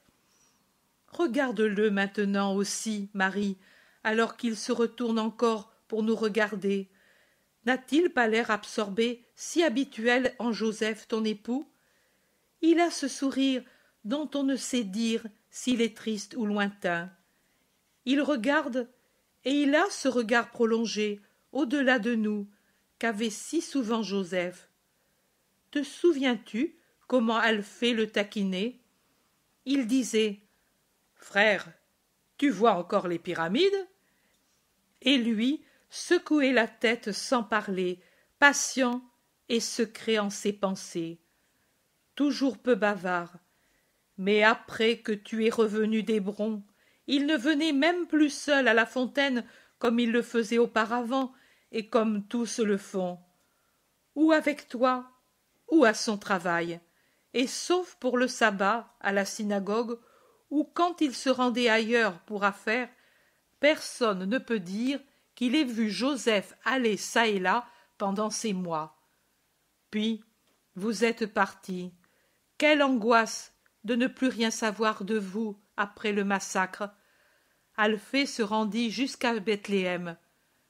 Parti, dirent-ils, mais comment croire, quand on vouait à mort dans une ville encore rouge du sang innocent, et où fumaient les ruines, et où on vous accusait, que c'était à cause de vous que ce sang avait été répandu. Il alla à Hébron, et puis au temple, car Zacharie était de service. Élisabeth ne lui donna que des larmes. Zacharie des paroles de réconfort. L'un et l'autre, angoissés pour Jean, craignant de nouvelles atrocités, l'avaient caché et tremblé pour lui. De vous, il ne savait rien. Et Zacharie dit à Alphée S'ils sont morts, leur sang est sur moi, car c'est moi qui les ai persuadés de rester à Bethléem. Ma Marie, mon Jésus, qu'on avait vu si beau à la Pâque qui suivit sa naissance, et ne savoir rien pendant si longtemps. Mais pourquoi jamais une nouvelle? Parce qu'il valait mieux se taire. Là où nous étions, il y avait beaucoup de Marie et de Joseph, et il valait mieux passer pour un couple quelconque, répond tranquillement Marie, et elle dit en soupirant. Et c'était encore des jours heureux dans leur tristesse. Le mal était encore si loin. S'il manquait tant de choses à nos besoins humains, notre esprit se rassasiait de la joie de t'avoir, mon fils. Marie d'Alphée observe. Maintenant aussi, Marie, tu l'as, ton fils. Il manque Joseph, c'est vrai, mais Jésus est ici, et avec son amour complet d'adulte. Marie lève la tête pour regarder son Jésus. Son regard trahit son déchirement, malgré le léger sourire sur les lèvres, mais elle n'ajoute pas un mot. Les apôtres se sont arrêtés pour les attendre, et se sont tous réunis, même Jacques et Jean, qui étaient en arrière de tous, avec leur mère. Pendant qu'ils se reposent de la marche, et que certains mangent un peu de pain, la mère de Jacques et Jean s'approche de Jésus et se prosterne devant Jésus qui ne s'est même pas assis dans sa hâte de reprendre la marche. Jésus l'interroge, car il est visible qu'elle désire lui demander quelque chose. Que veux-tu, femme? Parle. Accorde-moi une grâce avant que tu t'en ailles, comme tu le dis. Et laquelle? Celle d'ordonner que mes deux fils, qui pour toi ont tout quitté, siègent l'un à ta droite et l'autre à ta gauche, quand tu siégeras dans ta gloire dans ton royaume. Jésus regarde la femme, et puis il regarde les deux apôtres et leur dit C'est vous qui avez suggéré cette pensée à votre mère en interprétant très mal mes promesses d'hier? Le centuple pour ce que vous avez quitté, vous ne l'aurez pas dans un royaume de la terre. Vous aussi, donc, vous devenez avides et sots? Mais ce n'est pas vous. C'est déjà le crépuscule empoisonné des ténèbres qui s'avance, et l'air souillé de Jérusalem qui approche et vous corrompt et vous aveugle. Moi, je vous dis que vous ne savez pas ce que vous demandez. Pouvez-vous peut-être boire le calice que moi je boirai? Nous le pouvons, Seigneur. Comment pouvez-vous le dire si vous n'avez pas compris quelle sera l'amertume de mon calice? Ce ne sera pas seulement l'amertume que je vous ai décrite hier, mon amertume d'homme de toutes les douleurs. Il y aura des tortures que même si je vous les décrivais, vous ne seriez pas en condition de comprendre. Et pourtant, oui, puisque bien qu'étant comme deux enfants qui ne connaissent pas la portée de ce qu'ils demandent, puisque vous êtes deux esprits justes et que vous m'aimez, certainement vous boirez à mon calice. Cependant, siégez à ma droite ou à ma gauche, il ne dépend pas de moi de vous l'accorder. C'est une chose accordée à ceux auxquels mon Père l'a préparée. Les autres apôtres, pendant que Jésus parle encore, critiquent âprement la demande des fils de Zébédée et de leur mère. Pierre dit à Jean Toi aussi, je ne te reconnais plus pour ce que tu étais. Et l'Iscariote, avec son sourire de démon Vraiment, les premiers sont les derniers. Tant de découvertes surprenantes. Et il rit jaune. Philippe dit d'un ton de reproche. Est-ce par hasard pour les honneurs que nous avons suivi notre maître? Thomas, au contraire, pour excuser les deux, s'en prend à Salomé en lui disant Pourquoi faire mortifier tes enfants? Tu devais réfléchir si eux ne l'ont pas fait et empêcher cela. Le Thaddée dit C'est vrai, notre mère ne l'aurait pas fait. Barthélemy ne parle pas, mais son visage marque clairement sa désapprobation. Simon le Zélote dit, pour calmer l'indignation Nous pouvons tous nous tromper.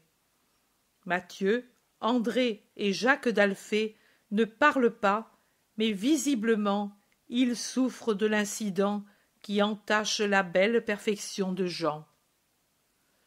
Jésus fait un geste pour imposer le silence et il dit Et quoi? D'une erreur va-t-il en venir un grand nombre? Vous qui exprimez des reproches indignés, ne vous apercevez-vous pas que vous péchez vous aussi? Laissez tranquilles vos deux frères. Mon reproche suffit. Leur humiliation est visible, leur repentir humble et sincère. Vous devez vous aimer entre vous, vous soutenir mutuellement, car en vérité aucun d'entre vous n'est encore parfait. Vous ne devez pas imiter le monde et les hommes qui en font partie. Dans le monde, vous le savez, les chefs des nations les dominent et les grands exercent sur elles leur autorité au nom du chef. Mais parmi vous, il ne doit pas en être ainsi. Vous ne devez pas avoir la prétention de dominer les hommes, ni vos compagnons. Au contraire, que celui qui parmi vous veut devenir plus grand se fasse votre ministre, et que celui qui veut être le premier se fasse le serviteur de tous, comme l'a fait votre maître. Suis-je venu par hasard pour opprimer et dominer Pour être servi? Non, en vérité, non. Je suis venu pour servir. Et de même que le Fils de l'homme n'est pas venu pour être servi, mais pour servir et pour donner sa vie pour racheter un grand nombre, ainsi vous devrez savoir faire si vous voulez être comme je suis et où je suis. Maintenant, allez et soyez en paix entre vous, comme je le suis avec vous. Jésus me dit Marque fortement le point. Vous boirez certainement à mon calice. Dans les traductions, on lit mon calice. J'ai dit à mon calice, et non pas mon calice. Aucun homme n'aurait pu boire mon calice. Moi seul, le Rédempteur, j'ai dû boire mon calice tout entier.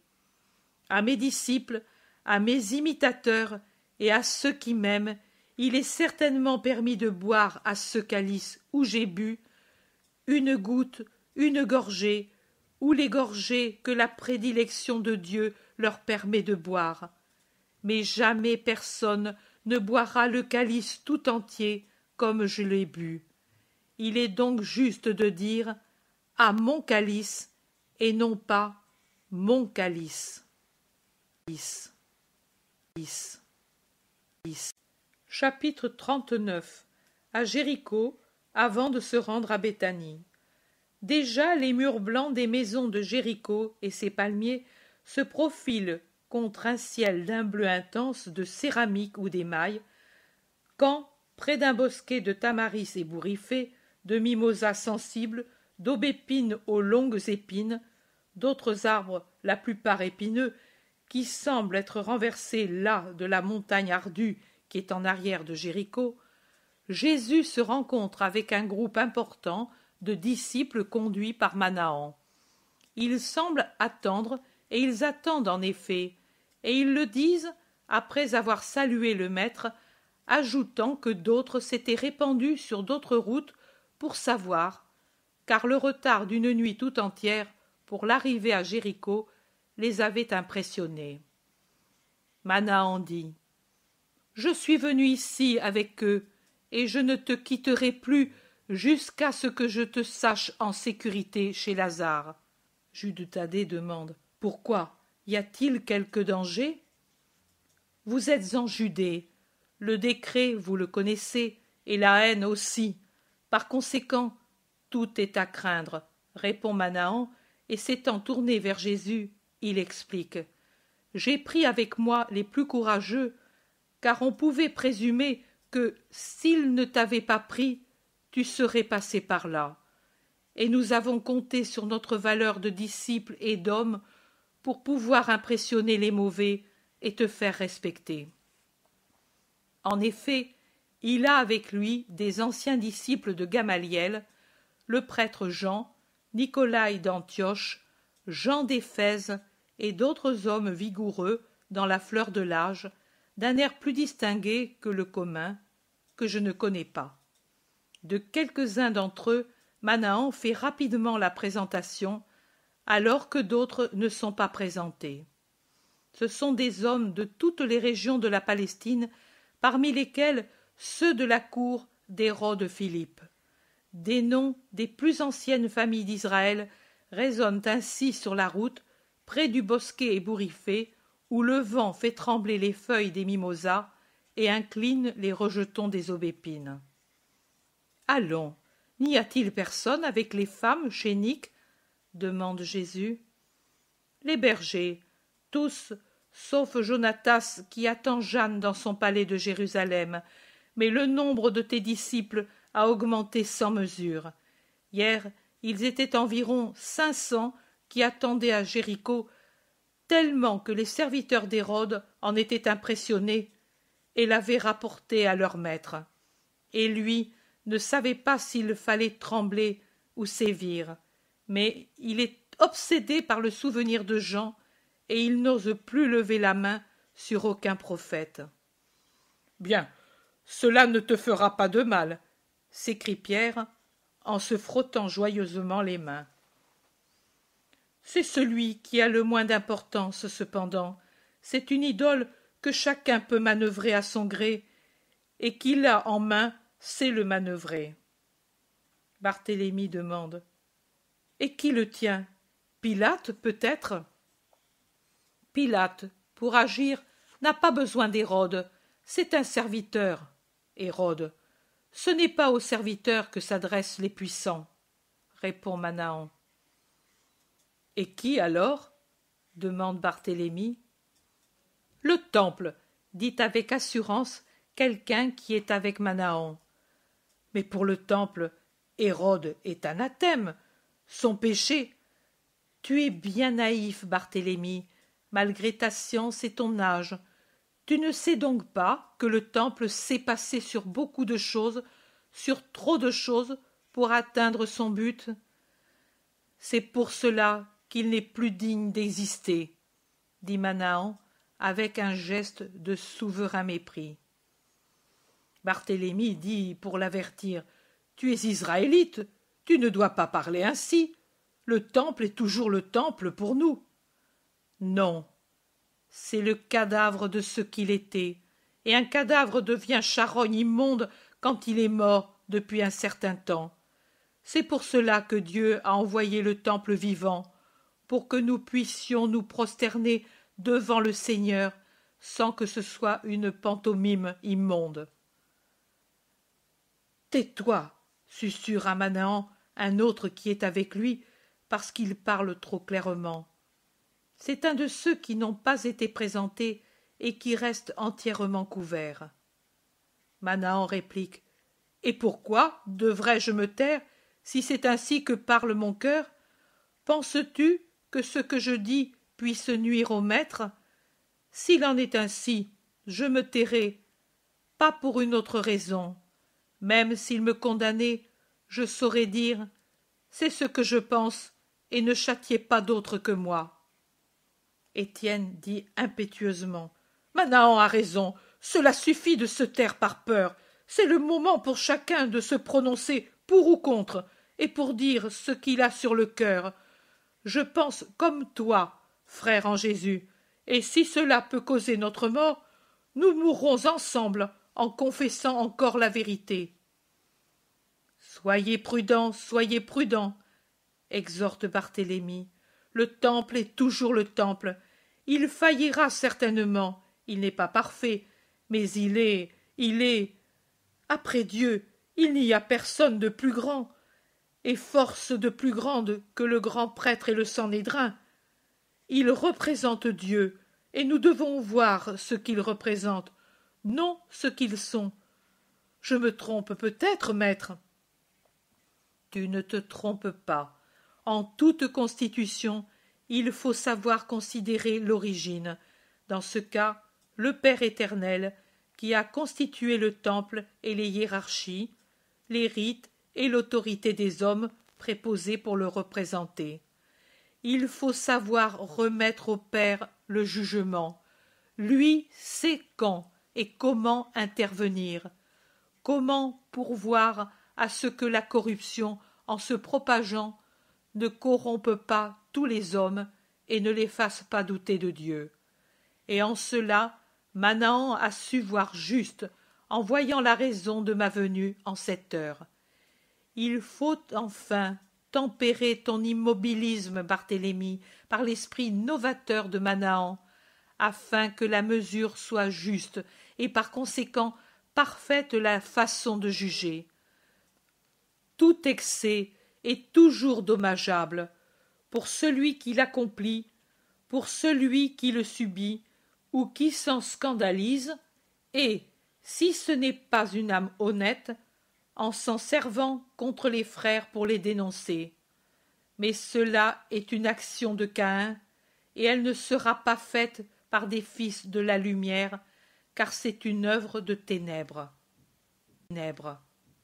Ténèbres celui qui tout enveloppé par son manteau de façon qu'on ne voit qu'à peine ses yeux noirs très vifs a averti manahan de ne pas trop parler s'agenouille près de jésus et prend sa main en disant tu es bon maître.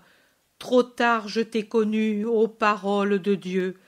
Mais encore à temps pour t'aimer comme tu le mérites si ce n'est pour te servir longuement comme je l'aurais voulu comme je voudrais maintenant. Il n'est jamais trop tard pour l'heure de Dieu. Elle vient au bon moment et lui accorde le temps qu'il faut pour servir selon sa volonté la vérité. Mais qui est-ce? murmurent entre eux les apôtres, et ils le demandent aux disciples. Inutilement. Personne ne sait qui c'est, ou s'il le sait, ne veut le dire. Qui est-ce, maître? demande Pierre, quand il peut s'approcher de Jésus, qui marche au milieu du groupe et qui a les femmes en arrière, les disciples en avant, à ses côtés ses cousins et tout autour les apôtres. Une âme, Simon, rien de plus que cela. Mais tu t'y fies, ne sachant pas qui c'est? Je sais qui c'est, et je connais son cœur. Ah. J'ai compris. C'est comme pour la femme voilée de la belle eau. Je ne demanderai plus autre chose. Et Pierre est heureux, car Jésus, s'éloignant de Jacques, le prend près de lui. Ils ont désormais rejoint Jéricho. De la porte des murs sort la foule qui crie des hosannas, et c'est difficilement que Jésus peut avancer en traversant la ville pour aller chez Nick, qui est en dehors de Jéricho, du côté opposé. On le supplie de parler, on élève à bout de bras les bébés pour en faire une haie vivante et infranchissable, en tablant sur l'amour de Jésus pour les petits. On crie Tu peux parler Il s'est déjà enfui à Jérusalem et en disant ces paroles, on montre du doigt le magnifique palais d'Hérode, maintenant fermé. Manahan confirme C'est vrai, il est parti pendant la nuit sans faire de bruit. Il a peur. Mais rien n'arrête Jésus qui avance en disant Paix, paix, que celui qui a des peines ou des douleurs vienne chez Nick, que celui qui veut m'entendre vienne à Jérusalem. Ici, je suis le pèlerin, comme vous tous. C'est dans la maison du Père que je parlerai. Paix, paix et bénédiction. Paix. C'est déjà un petit triomphe, un prélude à l'entrée à Jérusalem, désormais si proche. Je suis étonné de l'absence de Zachée jusqu'au moment où je le vois debout à la limite du domaine de Nick, au milieu de ses amis, et avec les bergers et les femmes disciples. Tous accourent à la rencontre de Jésus et se prosternent et l'escortent alors que lui, les bénissant, entre sous le verger, se dirigeant vers la maison hospitalière. Chapitre 40 Jésus parle à des disciples inconnus. Un grand nombre de gens sont groupés dans les prés de Nick où les foins sèchent au soleil. Deux chars lourds et couverts attendent près de ces prés. Je comprends la raison de cette attente en voyant qu'on y conduit toutes les femmes disciples et qu'elles y montent après que le maître les a congédiées et bénies. Marie très sainte s'en va avec les autres disciples et aussi le jeune garçon d'Hénon, et des disciples nombreux se placent de chaque côté des chars, et quand ceux-ci s'ébranlent au pas lent des bœufs, les disciples aussi se mettent en route. Dans les prés, il reste les apôtres, Zachée et ses amis, et un petit groupe de personnages tout couverts de leurs manteaux, comme s'ils ne voulaient pas être bien reconnus. Jésus revient lentement sur ses pas au milieu du pré, et il s'assoit sur un tas de foin déjà à demi sec, qu'on portera bientôt au fenil. Il est absorbé, et tous respectent cette concentration en lui-même, se tenant en trois groupes distincts, un peu distants de lui, et l'un de l'autre. Sa méditation se prolonge, et se prolonge l'attente.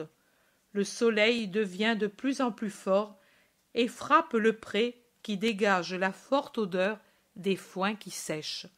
Ceux qui attendent se réfugient au bord du pré, là où les derniers arbres du verger projettent une ombre rafraîchissante.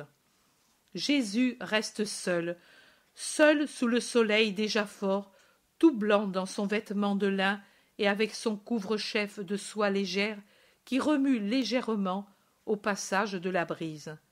C'est peut-être celui que saint a tissé. D'une étable voisine, vient un meuglement lent et lamentable, et un piaillement d'oisillons arrive des branches du verger et des airs, oiseaux sans plumes et poulets impertinents. C'est la vie qui continue en se renouvelant à chaque printemps. Les colombes tournoient en l'air d'un vol assuré et tranquille avant de revenir à leur nid sous l'avant-toit. Je ne sais si c'est dans une maison voisine de celle de Nick, où venant de quelque champ, une voix de femme fait entendre une berceuse, et la voix de l'enfant, d'abord aiguë et tremblante, comme le bêlement d'un agnelet, baisse et puis se tait.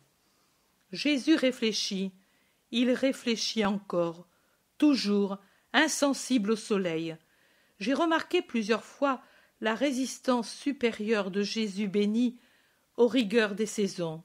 Je n'ai jamais compris s'il sentait fortement le chaud et le froid, et s'il les supportait sans se plaindre par esprit de mortification, ou si, de même qu'il dominait les éléments déchaînés, il dominait aussi le froid ou la chaleur excessif.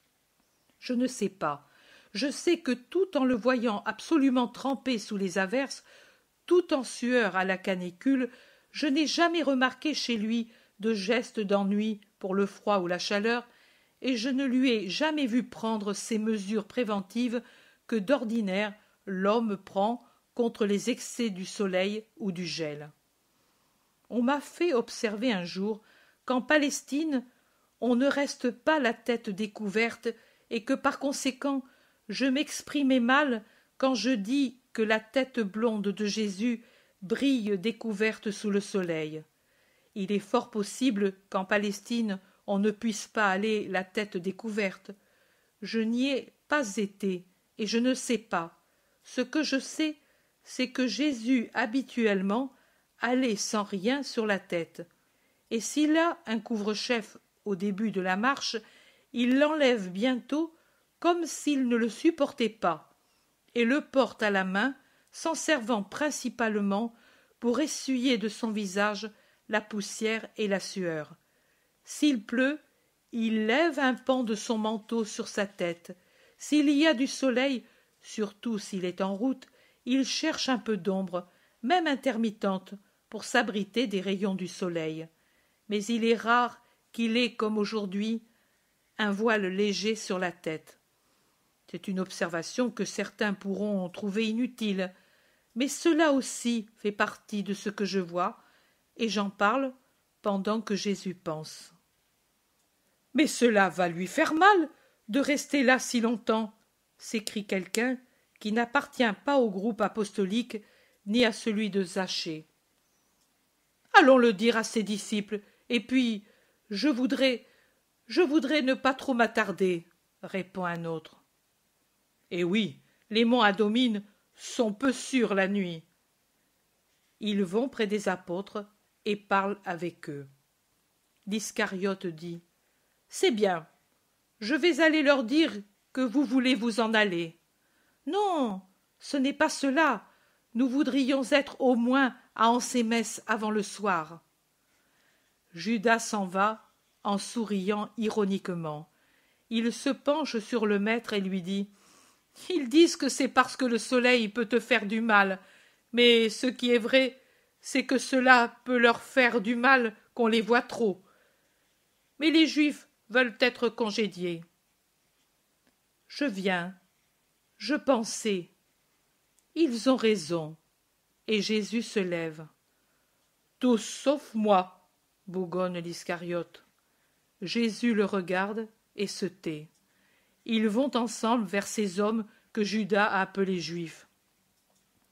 Je vous avais déjà congédiés tous, je vous l'ai dit hier. Je ne parlerai qu'à Jérusalem. C'est vrai, mais c'est que nous voudrions te parler, nous que. Pourrions-nous te parler en particulier? Contente-les, ils ont peur de nous, ou de moi plus particulièrement, dit encore Judas de Kériote avec son sourire de serpent. Nous n'avons peur de personne. Si nous voulions, nous saurions comment faire pour protéger notre tranquillité, mais tout le monde n'est pas encore lâche en Palestine. Nous sommes des descendants des preux de David. Et si tu n'es pas esclave et encore méprisé, tu dois rendre hommage à notre ascendance, les premiers aux côtés du saint roi, les premiers aux côtés des Maccabées, et les premiers maintenant encore quand il s'agit de rendre honneur au fils de David et de le conseiller, parce que lui est grand. Mais toute créature, pour grande qu'elle soit, peut avoir besoin d'un ami aux heures décisives de la vie, répond avec véhémence quelqu'un dont le vêtement est tout de lin, y compris le manteau et le couvre-chef, et qui laisse peu à découvert son visage sévère. Il a nous pour amis. Nous le sommes depuis trois ans, depuis que vous. Nous ne le connaissions pas.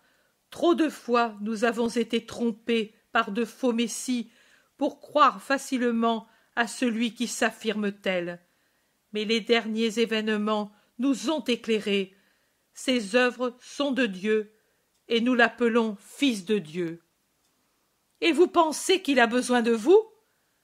Comme Fils de Dieu, non, mais comme homme, oui. Il est venu pour être l'homme, et l'homme a toujours besoin des hommes, ses frères. Du reste, pourquoi crains-tu Pourquoi ne veux-tu pas qu'on lui parle? Nous te le demandons. Moi? Parlez, parlez Les pécheurs sont plus écoutés que les justes. Judas, je croyais que de telles paroles devraient paraître du feu pour tes lèvres. Comment oses-tu juger là où ton maître ne juge pas? Il est dit si vos péchés étaient comme de l'écarlate, ils deviendront blancs comme la neige, et s'ils étaient vermeils comme la cochenille, ils deviendront blancs comme la laine. Mais tu ne sais pas que parmi eux Silence. Parlez, vous. Seigneur, nous le savons, l'accusation est préparée pour toi. On t'accuse de violer la loi et le sabbat, d'aimer ceux de Samarie plus que nous, de défendre les publicains et les prostituées, de recourir à Belzébuth et à d'autres forces ténébreuses, de magie noire, de haïr le temple et de vouloir sa destruction, de Assez. Tout le monde peut accuser. Prouver l'accusation est plus difficile. Mais ils ont parmi eux des gens qui la soutiennent. Crois-tu par hasard qu'ils sont justes là-dedans? Je vais vous répondre par les paroles de Job, qui est une figure du patient que moi je suis. Loin de moi la pensée de vous estimer tous justes, mais jusqu'au bout je soutiendrai mon innocence, je ne renoncerai pas à ma justification que j'ai commencée, car mon cœur ne me reproche rien pendant toute ma vie. Voilà. Tout Israël peut témoigner, car je ne me justifie pas par moi-même, par les paroles que le menteur aussi peut dire. Tout Israël peut témoigner que j'ai toujours enseigné le respect de la loi, et même davantage, que j'ai perfectionné l'obéissance à la loi, et que je n'ai pas violé les sabbats. Que veux-tu dire? Parle. Tu as fait un geste, et puis tu t'es retenu. Parle.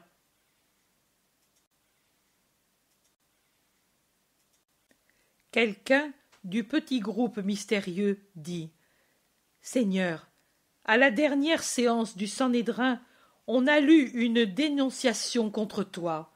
Elle venait de la Samarie, d'Éphraïm où tu étais, et elle disait qu'il était prouvé que plusieurs et plusieurs fois tu avais violé le sabbat et et encore je te réponds avec Job. Et quel est l'espoir de l'hypocrite s'il s'approprie par avarice et que Dieu ne délivre pas son âme? Ce malheureux qui se donne un visage et sous cette apparence a un cœur différent et qui veut commettre la grande rapine parce qu'il ne désire pas mon bien marche déjà sur la route de l'enfer et il lui sera inutile d'avoir de l'argent et d'espérer des honneurs et de rêver de s'élever là où moi je n'ai pas voulu pour ne pas trahir le décret saint. Mais allons-nous peut-être nous occuper de lui, sinon pour prier pour lui? Le Sanhédrin pourtant t'a ridiculisé en disant Voilà l'amour des Samaritains pour lui. Ils l'accusent pour gagner nos bonnes grâces. Et êtes-vous sûr que ce soit une main samaritaine qui ait écrit ces mots? Non, mais la Samarie, en ces jours, a été dure pour toi.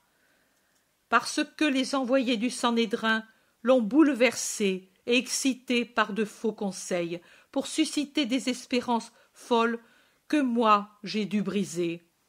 Du reste, il est dit d'Éphraïm et de Judas, et peut se dire de tout endroit, car changeant est le cœur de l'homme qui oublie les bienfaits et s'incline devant les menaces, votre bonté est comme la nuée du matin, comme la rosée qui s'évapore au matin. Mais ceci ne prouve pas que ce soit eux, les Samaritains, qui sont les accusateurs de l'innocent. Un amour faussé les a lancés férocement contre moi, mais c'est un amour qui délire. Quelle autre preuve prouve l'accusation de préférence pour les Samaritains? On t'accuse de toujours dire, tant tu les aimes, Écoute Israël, au lieu de dire Écoute Judas et que tu ne peux reprocher à Judas, Jésus l'interrompt. En vérité, la sagesse des rabbis s'égare-t-elle ici? Et ne suis-je pas le germe de justice sorti de David, à cause duquel, comme dit Jérémie, Judas sera sauvé? Alors le prophète prévoit que Judas, surtout Judas, aura besoin de salut. Et ce germe dit toujours le prophète, sera appelé le Seigneur, notre juste, parce que, dit le Seigneur, il ne manquera jamais à David un descendant assis sur le trône de la maison d'Israël. Et quoi? Le prophète s'est-il trompé? Était-il ivre, peut-être? De quoi? De pénitence? Et pas d'autre chose.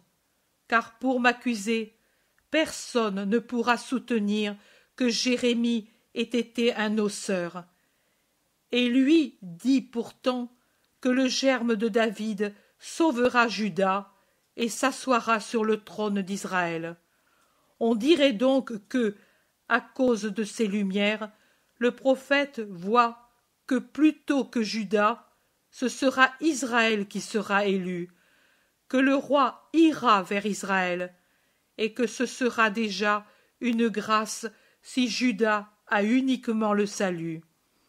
Le royaume sera donc appelé royaume d'Israël? Non, ce sera le royaume du Christ, de celui qui réunit les parties séparées et reconstruit dans le Seigneur après avoir, selon l'autre prophète, en un mois, que dis-je, en un mois, en moins d'un jour, jugé et condamné les trois faux pasteurs et leur avoir fermé mon âme parce que la leur était restée fermée à moi et en me désirant en figure ils n'ont pas su m'aimer en nature or donc celui qui m'envoie et m'a donné les deux verges brisera l'une et l'autre pour que la grâce soit perdue pour ceux qui sont cruels pour que le fléau viennent non plus du ciel, mais du monde.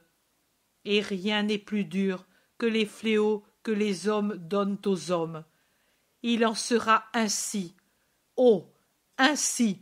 Je serai frappé, et les brebis seront dispersées pour les deux tiers. Un tiers seul, toujours un seul tiers, se sauveront et persévéreront jusqu'à la fin. Et ce tiers passera par le feu par lequel je passe le premier, et sera purifié et éprouvé comme l'argent et l'or. Et c'est à lui qu'il sera dit Tu es mon peuple, et lui me dira Tu es mon Seigneur. Et il y aura quelqu'un qui aura pesé les trente deniers, prix de l'œuvre horrible, salaire infâme. Et là, d'où ils sortiront, ils ne pourront plus rentrer, parce que les pierres crieront d'horreur en voyant cet argent, souillé par le sang de l'innocent et par la sueur de celui qui sera poursuivi par le désespoir le plus atroce. Et ils serviront, comme il est dit, à acheter aux esclaves de Babylone le champ pour les étrangers. Oh. Le champ pour les étrangers. Savez vous qui ils sont ceux de Juda et d'Israël, ceux qui bientôt et pour des siècles des siècles n'auront plus de patrie. Et la terre même de ce qui fut leur sol ne voudra pas les accueillir. Elle les vomira d'elle-même même une fois morts parce qu'ils ont voulu rejeter la vie. Horreur infinie infinie infinie. Jésus se tait comme accablé la tête inclinée. Puis il la lève et son regard fait un tour. Il voit ceux qui sont présents les apôtres les disciples occultes zachée avec les siens. Il soupire comme s'il se réveillait d'un cauchemar. Il dit quoi d'autre disiez-vous? Ah que l'on m'accuse d'aimer les publicains et les prostituées. C'est vrai ce sont des malades des mourants. Moi vie je me donne à eux comme vie. Venez les racheter de mon troupeau ordonne-t-il à zachée et aux siens. Venez et écoutez mon commandement. J'ai dit à beaucoup et ils étaient plus blancs que vous ne venez pas à jérusalem. À vous je dis venez. Cela pourra paraître une injustice. Et ce l'est en effet interrompt l'iscariote.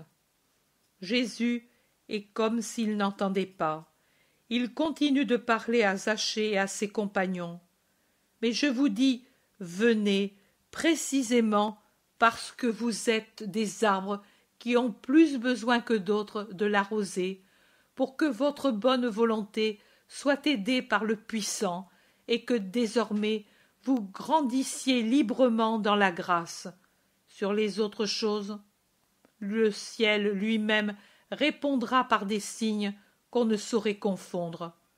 En vérité il pourra être détruit le temple vivant et être reconstruit en trois jours et pour l'éternité. Mais le temple mort qui sera seulement secoué et croira avoir vaincu périra pour ne plus se relever. Allez et ne craignez pas. Attendez mon jour dans la pénitence et son aurore vous conduira définitivement à la lumière dit-il en s'adressant à ceux qui sont couverts de leurs manteaux. Et puis à zachée et vous aussi allez mais pas maintenant. Soyez à jérusalem pour l'aurore du lendemain du sabbat. À côté des justes je veux ceux qui ont été relevés car dans le royaume du christ en nombre infini sont les places autant qu'il y a d'hommes de bonne volonté. Et il se dirige vers la maison de Nick à travers le verger touffu et ombreux.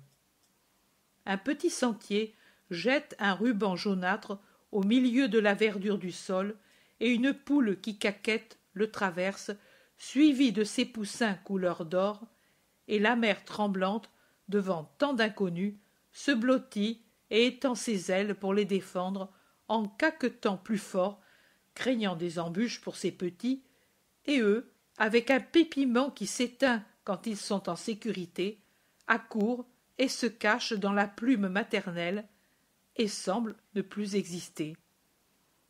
Jésus s'arrête pour la contempler et des larmes tombent de ses yeux il pleure. Pourquoi pleure-t-il? Il pleure murmure tout le monde. Apôtres disciples pécheurs rachetés. Et pierre dit à jean demande-lui pourquoi il pleure. Et jean dans son attitude habituelle un peu penché par respect en regardant jésus par en dessous lui demande pourquoi pleures-tu mon seigneur? Peut-être à cause de ce que l'on t'a dit et de ce que tu disais auparavant. Jésus se secoue il a un sourire triste et montrant la poule qui continue de protéger affectueusement ses petits dit moi aussi qui suis un avec mon père j'ai vu jérusalem comme il est dit par ézéchiel nue et honteuse.